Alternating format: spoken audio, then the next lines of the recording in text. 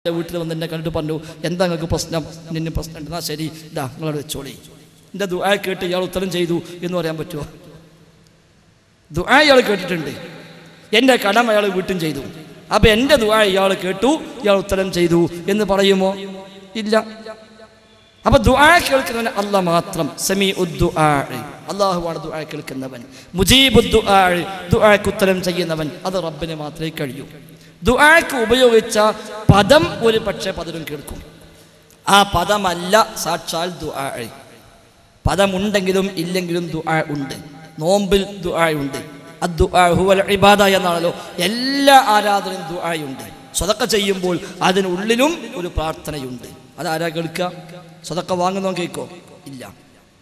നമ്മിൽ സ്വതക്ക സ്വീകരിക്കുന്നവനാരോ അവൻ ആ ദുആ കേൾക്കുന്നുണ്ടോ? ഇല്ല. എന്നാൽ നാലാൾ കാണാൻ വേണ്ടിയാണ് ഇവൻ സ്വതക്ക ചെയ്തതെങ്കിലോ? സ്വതക്ക ഇട്ടാകുന്നുമില്ല എന്തുകൊണ്ട്? അതിനുള്ളിൽ ദുആ ഇല്ല. നോമ്പ് നോൽക്കുമ്പോൾ നോമ്പിനുള്ളിൽ ദുആയുണ്ട്. ദുആയുണ്ടെങ്കിൽ നോമ്പ് ഇബാദത്താകൂ. റബ്ബിൽ നിന്ന് പ്രതിഫലം കാക്ഷിക്കലും സ്വർഗം ആഗ്രഹിക്കലും റബ്ബെ സ്വീകരിക്കണേ എന്ന ഒരു ചിന്തയും ഒരു താല്പര്യവും ഉള്ളിലുണ്ട്. അത് തന്നെയാണ് ദുആ. അതൊന്നുമില്ല. വീട്ടിലേതായാലും എല്ലാവർക്കും നോമ്പ. ഇനിയിപ്പോൾ ഞാൻ മാത്രം നോമ്പ് വയ്ക്കാതെ എന്നിട്ട് കാര്യമില്ല. ഒരു ഭക്ഷണം കിട്ടില്ല പട്ടിണി കിടക്കേണ്ടി വരും. അതുകൊണ്ട് തൽക്കാലം നോമ്പ് വയ്ക്കാന്നാണെങ്കിലോ അതിന് വിഭാഗത്താവൂല എന്തുകൊണ്ട്? ഈ ദുആ ഇവിടെ ഇല്ല. ഈ ദുആ അതാണ് സാക്ഷാൽ ദുആ. കൽബിന്റെ ഉള്ളിൽ നിന്ന് ദുആ വരുന്നത്. ആ ദുആ കേൾക്കുന്നവൻ അല്ല മാത്രം. ആ ദുആക്ക് ഉത്തരം ചെയ്യുന്നവൻ അല്ല മാത്രം. അതൊരു മനുഷ്യനും കേൾക്കൂല ഒരു ജിന്നും കേൾക്കൂല ഒരു മലക്കും കേൾക്കൂല ഒരു സൃഷ്ടിയും കേൾക്കില്ല. ദുആ കേൾക്കുന്നവൻ അല്ല മാത്രം. അതാണ് ഞാൻ ആ സി ഡി പറഞ്ഞത്. അത് ഖുർആൻ പഠിപ്പിച്ച ആശയമാണ് ഹദീദ് പഠിപ്പിച്ച ആശയമാണ് അത് ലോകത്തിന്റെ ആശയമാണ് അത് തർക്കമില്ലാത്ത ആദർശവുമാണ്. ആ അടുത്ത കേൾക്കാം.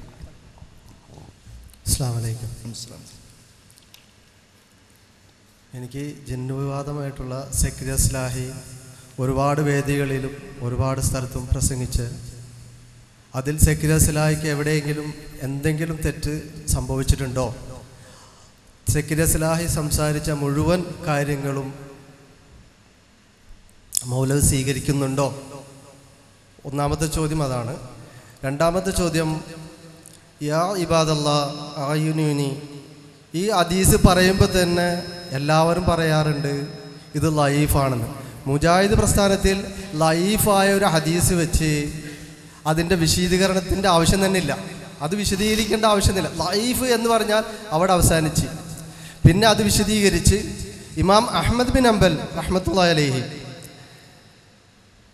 മരുഭൂമിയിൽ ചെന്നപ്പോൾ ഹജ്ജിന് പോയപ്പോൾ അങ്ങനെ പല വാക്യങ്ങളും സംസാരിച്ചിട്ടുണ്ട്. മരുഭൂമിയിൽ വെച്ച് വഴി നഷ്ടപ്പെട്ട സമയത്ത് വഴി തിരിയാത്ത സമയത്ത് ഇമാം അഹമ്മദ് ബിൻ അംബർ റഹ്മത്തുള്ള അലേഹി ദല്ലൂന ദല്ലൂന തരി എനിക്കാരെങ്കിലും വഴി കാണിക്കണേ. അവിടെ മലക്കെന്നോ ജിന്നെന്നോ പറഞ്ഞതായ തെളിവോ ഹദീസോ ഉണ്ടോ? അതും ഉണ്ടെങ്കിൽ ഒന്ന് മൗലവി പറയണം. ഇല്ല കഴിഞ്ഞിട്ടില്ല. അടുത്ത അടുത്തത് ഒരു മുജാഹിദ് പ്ര- പ്രവർത്തകന് അല്ലെങ്കിൽ ഒരു ഇസ്ലാഹി പ്രവർത്തനയ്ക്ക് ജിന്നു ബാധ ഏറ്റതായി തോന്നിയാൽ അയാൾ റുക്കിയ ഷറയ്യ അനുസരിച്ച് അയാൾ ജീവിക്കുന്ന ഒരു മനുഷ്യനാണ്. എങ്കിൽ അള്ളാഹുടെ തീരുമാനപ്രകാരം അദ്ദേഹത്തിന് അങ്ങനെ എന്തെങ്കിലും ഒരു ബാധ സംഭവിച്ചാൽ അത് ആ റുക്കിയ ഷറയ്യ നിബന്ധനയിൽ നിന്നുകൊണ്ട് അദ്ദേഹത്തിന് അത് മാറിയില്ലെങ്കിൽ അദ്ദേഹം ആ ലെവലിലാണ് മരിച്ചു പോകുന്നതെങ്കിൽ ഇസ്ലാമിക വിധി എന്താണ്? അതും ഒന്ന് തെളിച്ചു പറയണം. നാലു കാര്യമാണ് സഹോദരൻ ചോദിച്ചത്. ഒന്ന് സക്രിയാസുലാഹി പറഞ്ഞ എല്ലാ സംഗതികളും അംഗീകരിക്കുന്നുണ്ടോ എന്നാണ്. ഞാനൊരിക്കലും കൂടെ കൂടിയത് സക്രിയാസുലാഹിന്റെ കൂടെ അല്ല. ഞങ്ങൾ ആരും കൂടിയത് സുലാഹിന്റെ കൂടെയല്ല. നമ്മൾ ആരും കൂടേണ്ടതും സുലാഹിയുടെ കൂടെയല്ല. പ്രമാണങ്ങളുടെ കൂടെയാണ്. ആ കൂട്ടത്തിൽ സുലാഹി ഉണ്ടെങ്കിൽ നമ്മളും സുലാഹി ഒപ്പുണ്ടാകും. ആ കൂട്ടത്തിൽ അബ്ദുറഹ്മാൻ സലഫി ഉണ്ടെങ്കിൽ നമ്മളൊക്കെ ഒന്നിച്ചുണ്ടാകും. ആ കൂട്ടത്തിൽ സാക്ഷാൽ കാന്തപുരുണ്ടെങ്കിലോ അവിടെ ഒപ്പുണ്ടാവും. ആ കൂട്ടത്തിൽ ഇല്ലെങ്കിലോ വിട്ടോളൂ പറയും ചെയ്യും. സ്വലായി നാളെ പ്രമാണത്തിനപ്പുറം പറഞ്ഞാൽ നമ്മൾ എന്താ പറയാ? അതിപ്പോ സ്വരായി പറഞ്ഞതല്ലേ? ഇനിയിപ്പോൾ എന്താ നമ്മൾ ചെയ്യാ എന്ന് പറയോ? ഇല്ല. സ്വരാഹി വലൈക്കും ഇനി വണ്ടി വിടാം എന്ന് പറയും. അപ്പൊ അതാണ് നമ്മുടെ അടിസ്ഥാന കാഴ്ചപ്പാട്. അതുകൊണ്ട് തന്നെ സ്വരാഹി പറഞ്ഞാലും ആര് പറഞ്ഞാലും പ്രമാണങ്ങളോട് യോജിക്കുന്നതാണോ പറഞ്ഞത് അതെല്ലാം അംഗീകരിക്കുന്നു. അതിനെതിരായി വല്ല പരാമർശം വല്ലയിടത്തും പറഞ്ഞിട്ടുണ്ടോ? ഒരിക്കലും അംഗീകരിക്കില്ല. അംഗീകരിക്കാൻ പാടില്ല. ഇനിയിപ്പോൾ ഞാനിവിടെ പ്രസംഗിച്ചു മാലിക് സലഫി പ്രസംഗിച്ചു ഇതെല്ലാം അങ്ങ് അംഗീകരിക്കുക വെച്ചാലോ എവിടെയെങ്കിലും വല്ല അബദ്ധം വന്നിട്ടുണ്ടെങ്കിൽ അതും അംഗീകരിക്കേണ്ട ആവശ്യമുണ്ടോ? ഇല്ല. ന്യായീകരിക്കേണ്ട കാര്യമുണ്ടോ? ഇല്ല. തെറ്റുപറ്റി എന്ന് പറയണം. ഒരു കുഴപ്പമില്ല. ഒരു കുഴപ്പമില്ല. മുജാഹിദ് പ്രസ്ഥാനത്തിന്റെ ഏറ്റവും വലിയ ആദർശ രംഗത്തെ വ്യതിരിക്തതയും അതാണല്ലോ. ആര് പറഞ്ഞാലും തെറ്റ് തെറ്റ് എന്ന് പറയും. ശരിയാണോ? ആ ശരി സ്വീകരിക്കുകയും ചെയ്യും. അതുകൊണ്ട് പിന്നെ സഹോദരന്റെ ഒന്നാമത്തെ ചോദ്യം തന്നെ പ്രസക്തമല്ല എന്നാണ് സൂചിപ്പിക്കാനുള്ളത്. സ്വലാഹി പറഞ്ഞ എല്ലാ കാര്യവും അംഗീകരിക്കാമെന്ന് നമ്മൾ ആരും പറഞ്ഞിട്ടില്ല. അംഗീകരിക്കാൻ പാടില്ല. അദ്ദേഹം പ്രമാണത്തെ സ്ഥാനത്തിൽ പറഞ്ഞെങ്കിൽ മാത്രമേ നമ്മൾക്ക് സ്വീകരിക്കുള്ളൂ. അല്ലാത്തത് പറഞ്ഞാൽ സക്കരാ സ്വലാഹി അല്ല. അതിനപ്പുറം ആര് പറഞ്ഞാലും നമുക്കത് സ്വീകാര്യവും അല്ല. ഒന്നത്. മറ്റൊന്ന് യാഴ് ഇബാദല്ല എന്ന ഹദീസ്. ലഈഫാണല്ലോ ലഈഫായ ഹദീസിൽ പിന്നെ ചർച്ച ചെയ്യേണ്ട എന്ത് ആവശ്യമുണ്ട് ഒരാവശ്യവും ഇല്ല. അതുകൊണ്ടാണ് ഞങ്ങളൊക്കെ പറഞ്ഞത് ഈ ഹദീസിനെ ചർച്ചാക്കല്ലേ ഇത് ഇടങ്ങാറാക്കല്ലേ ഇത് ഒഴിവാക്കണം എന്ന് പറഞ്ഞിട്ടും അത് കേൾക്കാതെ ചില മനുഷ്യന്മാർ അത് വീണ്ടും കൊണ്ടുവന്നു. ആളുകൾക്ക് മേലെ ശിർക്ക് കെട്ടിവെക്കാൻ വേണ്ടി ദുർബല ഹദീസുമായി ചില മനുഷ്യന്മാർ ഇറങ്ങി. അപ്പൊ നമ്മളൊക്കെ പറഞ്ഞു ഇത് ലൈഫ് ഹദീസാണ് നിങ്ങൾ എടുക്കല്ലേ? ഇത് നിങ്ങൾ കൂട്ട് കൂടെ കൂട്ടല്ലേ എന്ന് പറഞ്ഞു. നമ്മളെ സംബന്ധിച്ച് ഹദീസ് ലൈഫായാൽ പിന്നെ കഴിഞ്ഞു. പിന്നെ സംസാരമില്ല. അതുകൊണ്ടാണല്ലോ മുൻഗാമികൾ പലരും ചെയ്തു എന്ന് നമുക്ക് കിട്ടിയിട്ടും നമ്മൾ ചെയ്യാൻ പാടില്ല എന്ന് പറഞ്ഞത്. ഇബിൻ അബ്ബാസിൽ നിന്ന് വരെ ഹസനായ നിലയ്ക്ക് റിപ്പോർട്ടുണ്ടായിട്ടും ഇമാം തൊബറാനി അംഗീകരിച്ചിട്ടും ഇമാം ബൈഹക്കി അംഗീകരിച്ചിട്ടും ഇമാം അഹമ്മദ് അതുപ്രകാരം പ്രാവർത്തികമാക്കിയിട്ടും നബവയും അദ്ദേഹത്തിന് ഉസ്താദുമാരും അത് പ്രാവർത്തികമാക്കിയിട്ടും ഇബിന് തൈമയെയും ഇബിന് കയ്യമും ഷൗഖാനയും ചെയ്യാമെന്ന് പറഞ്ഞിട്ടും നമ്മൾ പറഞ്ഞു ചെയ്യാൻ പാടില്ല. എന്തുകൊണ്ട്? ഹദീസ് അഴീഫായതുകൊണ്ട് അതാണ് നമ്മുടെ പ്രത്യേകത. അല്ലെങ്കിൽ നമ്മൾ എന്ത് പറയും? ഇവരൊക്കെ ചെയ്യാൻ പറഞ്ഞില്ലേ? ഇനിയിപ്പോൾ നമ്മൾ വേണമെന്ന് നോക്കണ്ട. അത് നമ്മൾ പറഞ്ഞിട്ടില്ല. ചെയ്യാൻ പാടില്ല എന്നുള്ളത്. ഇവരൊക്കെ ചെയ്താലും ചെയ്യാൻ പാടില്ല. കാരണം അത് സ്വഹിയല്ല പിന്നെ എന്തിന് ചർച്ച വന്നു? ആ ചോദ്യം ഈ വേദിയിലേക്കല്ല വരേണ്ടത്. ചർച്ച കൊണ്ടുവന്ന ആളുകളോടാണ് ചോദിക്കേണ്ടത്. പക്ഷെ ചർച്ച കൊണ്ടുവന്നപ്പോൾ സ്വാഭാവികമായും യാഥാർത്ഥ്യം എന്ത് എന്ന് പറയേണ്ടി വന്നു. ആദ്യം ഇത് കൊണ്ടുവന്നു ഖുറാഫികൾ. ഷിയാക്കൾ കൊണ്ടുവന്നു. സൂഫികൾ കൊണ്ടുവന്നു. നമ്മുടെ നാട്ടിൽ സമസ്തക്കാരും കൊണ്ടുവന്നു. എന്തിനാ കൊണ്ടുവന്നത്? അഭൗതിക വിളിയെ സ്ഥാപിക്കാൻ.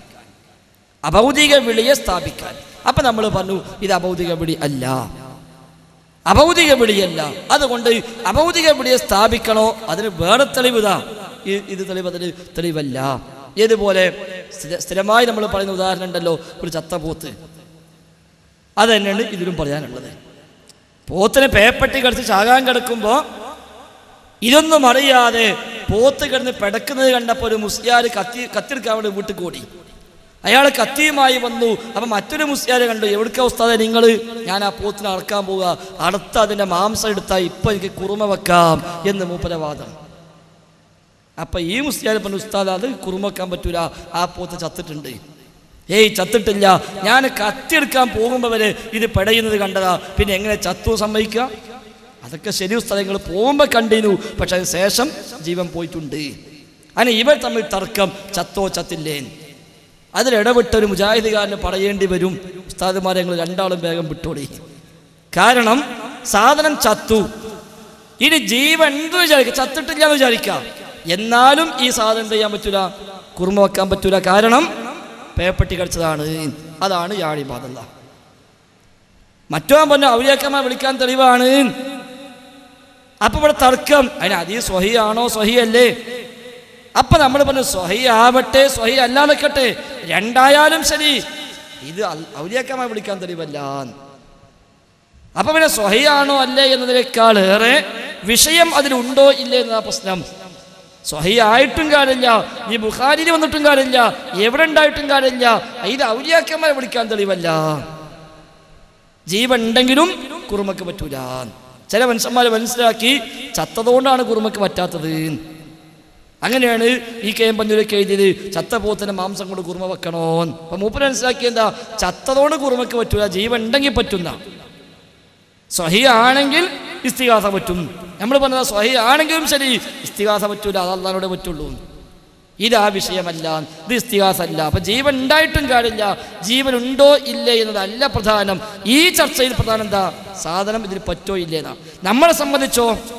അഭൗതികമല്ല. എന്നാ പിന്നെ എന്താ വേണ്ടത്? സ്വഹിയാണോ അല്ലേ? അപ്പോൾ സ്വഹിയല്ല. നമ്മൾ ഒഴിവാക്കി. വഴീഫാണ് ഒഴിവാക്കി. തർക്കമില്ല. പിന്നെ ഇമാം അഹമ്മദ് ചെയ്തില്ലേ? ശരി ചെയ്തു. ഇമാം അഹമ്മദ് ചെയ്തപ്പോൾ ജിന്നോ മലിക്ക ഉദ്ദേശിച്ചുവെന്നുണ്ടോ? ഇമാം അഹമ്മദ് വിളിച്ചതെന്താ? അള്ളാന്റെ അടിമകളെ എന്നാണ്. അള്ളാഹുവേ എന്നല്ല വിളി. യാ അല്ലാ എന്നല്ല വിളി. യാ ഇബാദ് അള്ളാഹുവിന്റെ അടിമകളെ ദുല്ലൂനി അലത്തൊരീഖ് എനിക്ക് നിങ്ങൾ വഴി അറിയിച്ചു തരൂ എന്നാണ് ഇമാം അഹമ്മദ് പറഞ്ഞത്. അദ്ദേഹം പറഞ്ഞു ഞാനിത് പറഞ്ഞുകൊണ്ടേയിരുന്നു. അങ്ങനെ ശരിയായ വഴിയിലേക്ക് ഞാൻ എത്തിപ്പെടുന്നത് വരെ ഞാനിത് പറഞ്ഞുകൊണ്ടിരുന്നു. ഹാജരായ അടിമയാണ്. ചാടിപ്പോയ മൃഗത്തെ പിടിച്ചു വെക്കുന്ന അടിമയാണ്. അപ്പൊ മൃഗം ചാടിപ്പോയി വഴി തെറ്റിപ്പോയി എങ്കിലൊക്കെ മൃഗത്തെ പിടിച്ചോളൂ എന്ന് പറഞ്ഞാൽ ചില അടിമകൾ വന്ന് പിടിക്കും. അവർ നമ്മളെ കാണൂല. നാം- നാം അവരെ കാണുക അപ്പൊ ഒരു അടിമ വന്ന് ചാടിപ്പോകുന്ന മൃഗത്തെ പിടിക്കുന്നു. നമ്മൾ അടിമയെ കാണുന്നുമില്ല. അപ്പൊ മനുഷ്യനല്ലാന്ന് ഉറപ്പാണല്ലോ അതുകൊണ്ട് ഇമാം ഷെയ്ഖ് അൽബാനി പറഞ്ഞു ഇമാം മുഹമ്മദ് ഖദ് ബിഹി. ഈ ഹദീസ് പ്രകാരം ഇമാം മുഹമ്മദ് അമൽ ചെയ്തിട്ടുണ്ട്. അപ്പൊ മനുഷ്യന്മാരല്ല ഉദ്ദേശിച്ചത് മനുഷ്യനല്ല വന്നത് എന്ന് അതിൽ നിന്ന് വ്യക്തമായി മാത്രമല്ല അമ്പ്യവിലാക്കന്മാരാണ് എന്ന് വ്യാഖ്യാനിച്ചപ്പോൾ ഈ പ്രയോഗം വെച്ചിട്ടാണ് പണ്ഡിതന്മാർ പറഞ്ഞത് ഇത് മനുഷ്യന്മാരേ അല്ല لأنهما صريحان بأن المقصود بعباد الله فيهما خلق من غير البشر മനുഷ്യനല്ലാത്ത സൃഷ്ടിയാണ് ഇവിടെ ഉദ്ദേശം എന്ന് തന്നെ വിശദമായി വ്യക്തമായി പണ്ഡിതന്മാർ രേഖപ്പെടുത്തിയിട്ടുമുണ്ട്. അപ്പൊ നമുക്കൊരിക്കലും അമൽ ചെയ്യുന്ന പ്രശ്നമേ ഇല്ല. ലോകത്ത് ആര് ചെയ്താലും നമുക്ക് ചെയ്യുന്ന ആവശ്യവുമില്ല. പിന്നെ വിവാദമാക്കിയവർ ആരാണോ അവർക്ക് അതിന് പിന്നിൽ മറ്റു താല്പര്യങ്ങൾ വേറെയുണ്ട്. അതുകൊണ്ടാണ് തൊള്ളായിരത്തി എഴുപത്തി ഒന്നിൽ സൽസബിയിൽ എഴുതിയപ്പോൾ വിവാദമാകാത്തത്. എൺപതുകളിൽ ഷബാബിൽ വന്നപ്പോൾ വിവാദമാകാത്തത്. അത് തൊണ്ണൂറുകളിൽ പുസ്തകമായി പുറത്തിറങ്ങിയപ്പോൾ വിവാദമാകാത്തത്. രണ്ടായിരത്തി അഞ്ചിൽ ജബ്ബാർ മൊഴി പുസ്തകം എഴുതിയപ്പോൾ വിവാദമാകാത്തത്. രണ്ടായിരത്തി നാലിൽ മണ്ണാർക്കാട് സംവാദത്തിൽ പറഞ്ഞപ്പോൾ വിവാദമാകാത്തത്. രണ്ടായിരത്തി ഒന്നിൽ ഷാർജ മുഖാമുഖത്തിൽ ഹുസൈൻ സലഫി പറഞ്ഞപ്പോൾ വിവാദമാകാത്തത് രണ്ടായിരത്തി ഏഴിൽ ഇസ്ലാഹിൽ വന്നപ്പോഴും വിവാദമാകാത്തത് അത് രണ്ടായിരത്തി ഒമ്പതിൽ ജിദ്ദയിലും ജിദ്ദയിലും ജാമ്യയിലും അബ്ദുറഹ്മാൻ സലഫി പറഞ്ഞപ്പോൾ വിവാദമാകാത്തത് രണ്ടായിരത്തി പതിനൊന്നിൽ ആലപ്പുഴ ഇസ്തിഖാമയിലും തിരുവനന്തപുരം ആറ്റിങ്ങൽ മുഖാമുഖത്തിലും ബഹ്റൈൻ മുഖാമുഖത്തിലും അനസ് മുസ്യാരു പറഞ്ഞപ്പോൾ വിവാദമാകാത്തത് രണ്ടായിരത്തി പന്ത്രണ്ട് ജനുവരിയിൽ നവയെ സമർപ്പിച്ച ഈ പ്രബന്ധത്തിലും ഇത് സ്വഹിയാണെങ്കിലും അള്ളാഹു അല്ലാത്ത പ്രാർത്ഥനയ്ക്ക് ഇതിൽ തെളിവില്ല എന്ന് പറഞ്ഞപ്പോഴും വിവാദമാകാത്തത്. അതിന് ശേഷം പിന്നെ വിവാദമായെങ്കിൽ. അല്ലെങ്കിൽ അന്ന് മുതലേ വിവാദം തുടങ്ങും. ഉമർമൊഴി എഴുതിയ അന്ന് മുതൽ പറയണം ഉമർമൊഴി പഴിച്ചു പോയി എന്ന് പറയണം. അന്നൊന്നുമില്ലാത്ത വിവാദം. അതേ വിഷയത്തിന് രണ്ടായിരത്തി പന്ത്രണ്ട് ജനുവരിക്കു ശേഷം ഒരു വിവാദമായെങ്കിൽ. അപ്പോൾ സ്വാഭാവികം മനസ്സിലാക്കാം. ആ വിവാഹത്തിന് പിന്നിൽ താല്പര്യങ്ങൾ മറ്റു പലതുമാണ് അത് നേരത്തെ വിശവദത്തിന്റെ അവസാനത്തിൽ അബ്ദുൽ മാലിക് സലഫി സൂചിപ്പിച്ചതുപോലെ സലഫിയത്തെ തകർക്കുക എന്ന സലഫി ആദർശം പ്രബോധനം ചെയ്യാൻ മുമ്പിൽ നിൽക്കുന്നവരാരോ അവരെ സൈഡാക്കുക എന്ന ഗൂഢമായ ലക്ഷ്യം തന്നെയാണ് അതിന് പിന്നിൽ ഉള്ളത്. എന്നിട്ട് എല്ലാവരെയും കൂട്ടിപ്പിടിച്ച് എല്ലാവരുമായും ബന്ധപ്പെട്ട് ഒരു ഐക്യമുന്നണി ഉണ്ടാക്കിയിട്ട് ഒരു മീഡിയ വണ്ണും അതേപോലെ വർത്തമാനും ഈ മർക്കസുദാഴയും ഇതെല്ലാം കൂടെ കൂട്ടിയോജിപ്പിച്ച് സാധനമാക്കി മുമ്പോട്ട് കൊണ്ടുപോകുന്ന ഒരു ബഹുജന പ്രസ്ഥാനം എന്ന പേരൂട്ടിൽ കൊണ്ടുപോകണമെന്ന ഒരു താല്പര്യം പലർക്കുമുണ്ട് അതുകൊണ്ടാണ് മീഡിയ വണ്ണിൽ ഉദ്ഘാടനത്തിന് നമ്മുടെ സംസ്ഥാന വൈസ് പ്രസിഡന്റ് പോയിട്ട് പ്രസംഗിച്ചത്. കെ എൻ എമ്മിന്റെ എല്ലാ പിന്തുണയും പ്രഖ്യാപിച്ചു. പ്രസിഡന്റ് ഉമ്രക്ക് പോയതാ അദ്ദേഹത്തിന് വല്ലാത്ത വിഷമമുണ്ട് പങ്കെടുക്കാൻ കഴിയാത്തതുകൊണ്ട് അദ്ദേഹം ഇന്നും വിളിച്ചെന്നോട് പ്രത്യേകം പറഞ്ഞ നിങ്ങൾ പോകണമെന്ന്. അതുകൊണ്ട് കെ എൻ എമ്മിന്റെ സർവ പിന്തുണയും ഏതിന് ജമാകാരന്റെ മീഡിയ വണ്ണിന് മടവൂരികളുടെ ആഹ്വാനം നിങ്ങൾ കെ എൻ എം നേതൃത്വത്തിന് ഐക്യദാർഢ്യം പ്രഖ്യാപിക്കൂ എന്ന് ഫെബ്രുവരി ഒന്നിന്റെ വിചിന്തനത്തിൽ മടവൂരികളുടെ ആഹ്വാനം. അപ്പൊ അങ്ങനത്തെ അജണ്ട ഇവിടെ ഉണ്ട്. ആ അജണ്ട നടപ്പാക്കാൻ ശ്രമിക്കുമ്പോൾ സ്വാഭാവികമായും തടസ്സമായി നിൽക്കുക പണ്ഡിതന്മാരാണ്. പ്രബോധകന്മാരാണ്. ദീനിനെ സ്നേഹിക്കുന്ന പ്രവർത്തകന്മാരാണ്. എങ്കിൽ അവരെ തൽക്കാലം മാറ്റി നിർത്തിയാലും വേണ്ടില്ല. നമുക്കൊരു ഒരു കൂട്ടുമുന്നണിയായി പോകണമെന്ന ഒരു ഒരു ദുരുദ്ദേശമുള്ളവർ തലപ്പത്തുണ്ട്. അവരുടെ കളികൾ തന്നെയാണ്. ഇതിന് പിന്നിൽ എന്ന് മനസ്സിലാക്കാൻ പ്രയാസമൊന്നുമില്ല. പറഞ്ഞോളി. നാലാമത്തെ കാര്യം ചോദിച്ചതിന് മറുപടി പറഞ്ഞില്ല. എന്തായിരുന്നു? പിന്നെ ഞാൻ ഈ ഒരു ചോദ്യം കൂടി ചോദിക്കാം. നാലാമത്തെ ആ. Yes, പറയാം. ആ അഞ്ചാമത്തെ ചോദിക്കും. ഉദാഹരണങ്ങളൊന്നും പറയണ്ട. ഹദീസിന്റെ തെളിവ് മാത്രം പറഞ്ഞാൽ എനിക്ക് ഉദാഹരണങ്ങളൊന്നും മനസ്സിലാവില്ല അതിന്റെ പേരിലാണ് മൗലവി വേറെ ഒന്നും വിചാരിക്കേണ്ട. ഉദാഹരണങ്ങളൊന്നും പറയണ്ട. പിന്നെ എനിക്ക് പറയാനുള്ളത് യാ ഇബാദല്ല എന്നൊരാൾ വിളിക്കാൻ പാടുണ്ടോ? ഒരു സ്നേഹിതനായിട്ട് ഞാൻ ഈ വിഷയം സംസാരിച്ചപ്പോൾ അദ്ദേഹം പറഞ്ഞു എന്നോട് പറഞ്ഞു അദ്ദേഹം ഈ സദസ്സിലുണ്ട്. കളവാണെന്നൊന്നും പറയണ്ടേ അദ്ദേഹം ഈ സദസ്സിൽ എന്നോട് പറഞ്ഞു അതിലെന്താണ് തെറ്റുള്ളത്? ഒരു തെറ്റുമില്ല. ഇവിടെ സംസാരിച്ച മൗലവിമാരൊക്കെ സംസാരിച്ച് അങ്ങനെ ഒരാൾ വിളിക്കാൻ പാടില്ല എന്ന് സംസാരിച്ച് അതൊന്ന് വിശദീകരിക്കണം. ഉദാഹരണം പറയണ്ടെന്ന് പറഞ്ഞാൽ താങ്കൾക്ക് പക്ഷെ ഉദാഹരണം മനസ്സിലാകുന്നുണ്ടാവില്ല. പക്ഷെ ഉദാഹരണം പറഞ്ഞാലേ മനസ്സിലാകൂ എന്ന് വാശിയുള്ളവർ പോലും ഉള്ള സമൂഹത്തിലാണ് നമ്മളുള്ളത്. പിന്നെ സ്വാഭാവികമായിട്ട് ഇങ്ങനത്തെ ഒരു വേദിയാകുമ്പോൾ ഒരു ചോദ്യം ചോദിച്ച് ഉത്തരം പറയുമ്പോൾ താങ്കൾ ഒരാളെ മാത്രം ഉദ്ദേശിച്ചല്ലല്ലോ. ഇത്രയും ആളുകൾ പഠിക്കാൻ വേണ്ടി ഇരിക്കാനാണ് ലോകത്ത് വിവിധ ഭാഗങ്ങളിൽ നിന്നും ഈ എം ഐ സി ആളുകൾ അത് കേട്ടുകൊണ്ടിരിക്കുന്ന മനുഷ്യന്മാരുണ്ട്. അപ്പൊ എല്ലാവരും ഉദ്ദേശിച്ചാണ് നമ്മൾ പരിപാടി. അപ്പൊ സ്വാഭാവികമായും പിന്നൊരു ഉപജോഗത്തിന് വകുപ്പില്ലാത്ത വിധം നമ്മൾ കാര്യങ്ങൾ പറയേണ്ടി വരും. അത് പരമാവധി സമയം ചുരുക്കി പറയാൻ ശ്രമിക്കുന്നുമുണ്ട്. നമ്മൾ ആരും രണ്ട് മണിക്കൂർ ഒന്നാകെ ഒരു ചോദ്യത്തിന് മറുപടി പറയുന്നുമില്ല. പറയേണ്ടത് പരമാവധി ആറ്റിക്കുറുക്കി പറയുന്നുണ്ട് അപ്പൊ ഉദാഹരണം പറയേണ്ടതെന്ന് ശരിയല്ല താങ്കൾക്ക് ഉദാഹരണത്തിലുള്ള ഒന്നും കൂടി വ്യക്തമാകും എന്നാണ് നമ്മൾ മനസ്സിലാക്കുന്നത്. ഏതായിരുന്നാലും നാലാമത്തെ ചോദിച്ച റുക്കിയ ഷറയുടെ വിഷയമായിരുന്നു. ജിന്നുബാധ ഉണ്ടാവുകയോ സിഹിർബാധ ഉണ്ടാവുകയോ ചെയ്തു. റുക്കിയ ഷറയ പ്രാവർത്തികമാക്കി. എന്നിട്ടും അയാൾക്ക് സുഖമായില്ല. എങ്കിൽ അയാളുടെ വിധി എന്ത്? റഹ്മാനായ റബ്ബ് അയാൾക്ക് പ്രതിഫലം നൽകും. സംശയമൊന്നുമില്ല. പ്രതിഫലം നൽകും. അയാൾ അള്ളാഹു വസ്ലം പഠിപ്പിച്ച വഴി സ്വീകരിച്ചതിനും പ്രതിഫലം കിട്ടും. ഈ രോഗത്തിൽ ക്ഷമിച്ചിട്ടുണ്ടെങ്കിൽ ആ ക്ഷമക്കും പ്രതിഫലം കിട്ടും. അതിൽ എന്തെല്ലാം പ്രയാസം അനുഭവിച്ചോ അതിനൊക്കെ പ്രതിഫലം കിട്ടും. അത് അതിൽ മാത്രമല്ല ഒരു വിശ്വാസിക്ക് മുള്ളു കുത്തിയാൽ പോലും പ്രതിഫലം കിട്ടുമെന്നാണ്. മായുസീബുൽ മിൻ വസബിൻ നസബിൻ ഹത്ത ഇല്ലാ കഫറല്ലാഹു ബിഹാ സയ്യിആതിഹാ. ഒരു മനുഷ്യ വിശ്വാസിക്ക് എടുക്കുന്ന ബുദ്ധിമുട്ടും വിഷമവും ക്ഷീണവും തളർച്ചയും ഏത് ടെൻഷനും അടക്കം കത്ത സൗഖ്യ അവൻ ഏൽക്കുന്ന മുള്ളു പോലും അതിന്റെ പേരിൽ ദോഷം പൊറുക്കാതിരിക്കില്ല. എന്ന് അള്ളാഹു റസൂൽ നമ്മളെ പഠിപ്പിച്ചിട്ടുണ്ട്. അതിൽ ഏത് രോഗവും പെടും പിശാച്ചിലൂടെ ഉണ്ടാകുന്ന രോഗവും പെടും അല്ലാതെ ഉണ്ടാകുന്ന രോഗങ്ങളും പെടും. ഏത് രോഗവും അയാൾ ക്ഷമിക്കുകയാണെങ്കിൽ അയാൾക്ക് പ്രതിഫലാർഹം തന്നെയാണ്. ഇനി അള്ളാഹ് റസൂലിന്റെ സ്വഹേബത്തിൽ നമുക്ക് അത്തരം സംഭവങ്ങൾ കാണാം. നബി തങ്ങളുടെ മുമ്പിൽ വന്ന് സ്ത്രീ പറയുന്നു എനിക്ക് പിശാച്ചു ബാധ വെച്ച് ഞാൻ മറഞ്ഞു വീണ്ടുകൊണ്ടിരിക്കുന്നു നബിയെ താങ്കൾ എനിക്ക് ചെയ്യണം. നബി തങ്ങൾ പറഞ്ഞു ഉദ്ദേശിക്കുന്നുവെങ്കിൽ ക്ഷമിക്കുക എനിക്ക് സ്വർഗമുണ്ട് വേണമെങ്കിൽ ദുആ ചെയ്യാം. അവർ പറഞ്ഞു സ്വർഗമുണ്ടെങ്കിൽ തീർച്ചയായും ഞാൻ ക്ഷമിക്കാം. ആവശ്യം സ്വർഗമാണ് ഞാൻ ക്ഷമിക്കാം. പക്ഷേ എന്റെ വസ്ത്രം പിശാച്ച് നീക്കിക്കളയുന്നു. എന്റെ അവിടുത്തെ ജനങ്ങൾ കണ്ടുകൊണ്ടിരിക്കുന്നു ആ സമയത്ത്. അതുകൊണ്ട് എന്റെ വസ്ത്രം നീങ്ങിപ്പോകാതിരിക്കാൻ വേണ്ടി നബിയെ താങ്കൾ ദുആ ചെയ്യണം. നബി തങ്ങൾ ചെയ്തു. അതിനുശേഷം ആ സ്ത്രീക്ക് പിശാച്ച് ബാധ ഉണ്ടായി മറിഞ്ഞു വീഴും. പക്ഷെ വസ്ത്രം നീങ്ങി പോകാറില്ല. അപ്പൊ ക്ഷമിച്ച സ്വർഗണ്ട് എന്ന് പ്രത്യേകമായി ആ സ്ത്രീക്ക് അറിയിപ്പ് കൊടുത്തപ്പോൾ അവർ ആ സ്വർഗം മതി എന്ന് തീരുമാനിച്ചു. അപ്പോ നീ റുക്കേഷ് ചെയ്തു. മാറിയില്ല. അല്ലെങ്കിൽ അയാൾ മറ്റു പല ചികിത്സയും ചെയ്തു. സുഖപ്പെട്ടില്ല അത് മാത്രമല്ല ക്യാൻസർ ഉണ്ടായി. ഒരുപാട് ചികിത്സിച്ചു. സുഖമായില്ല. അയാൾ തീരുമാനിച്ച റബ്ബിന്റെ വിധിയാണ്.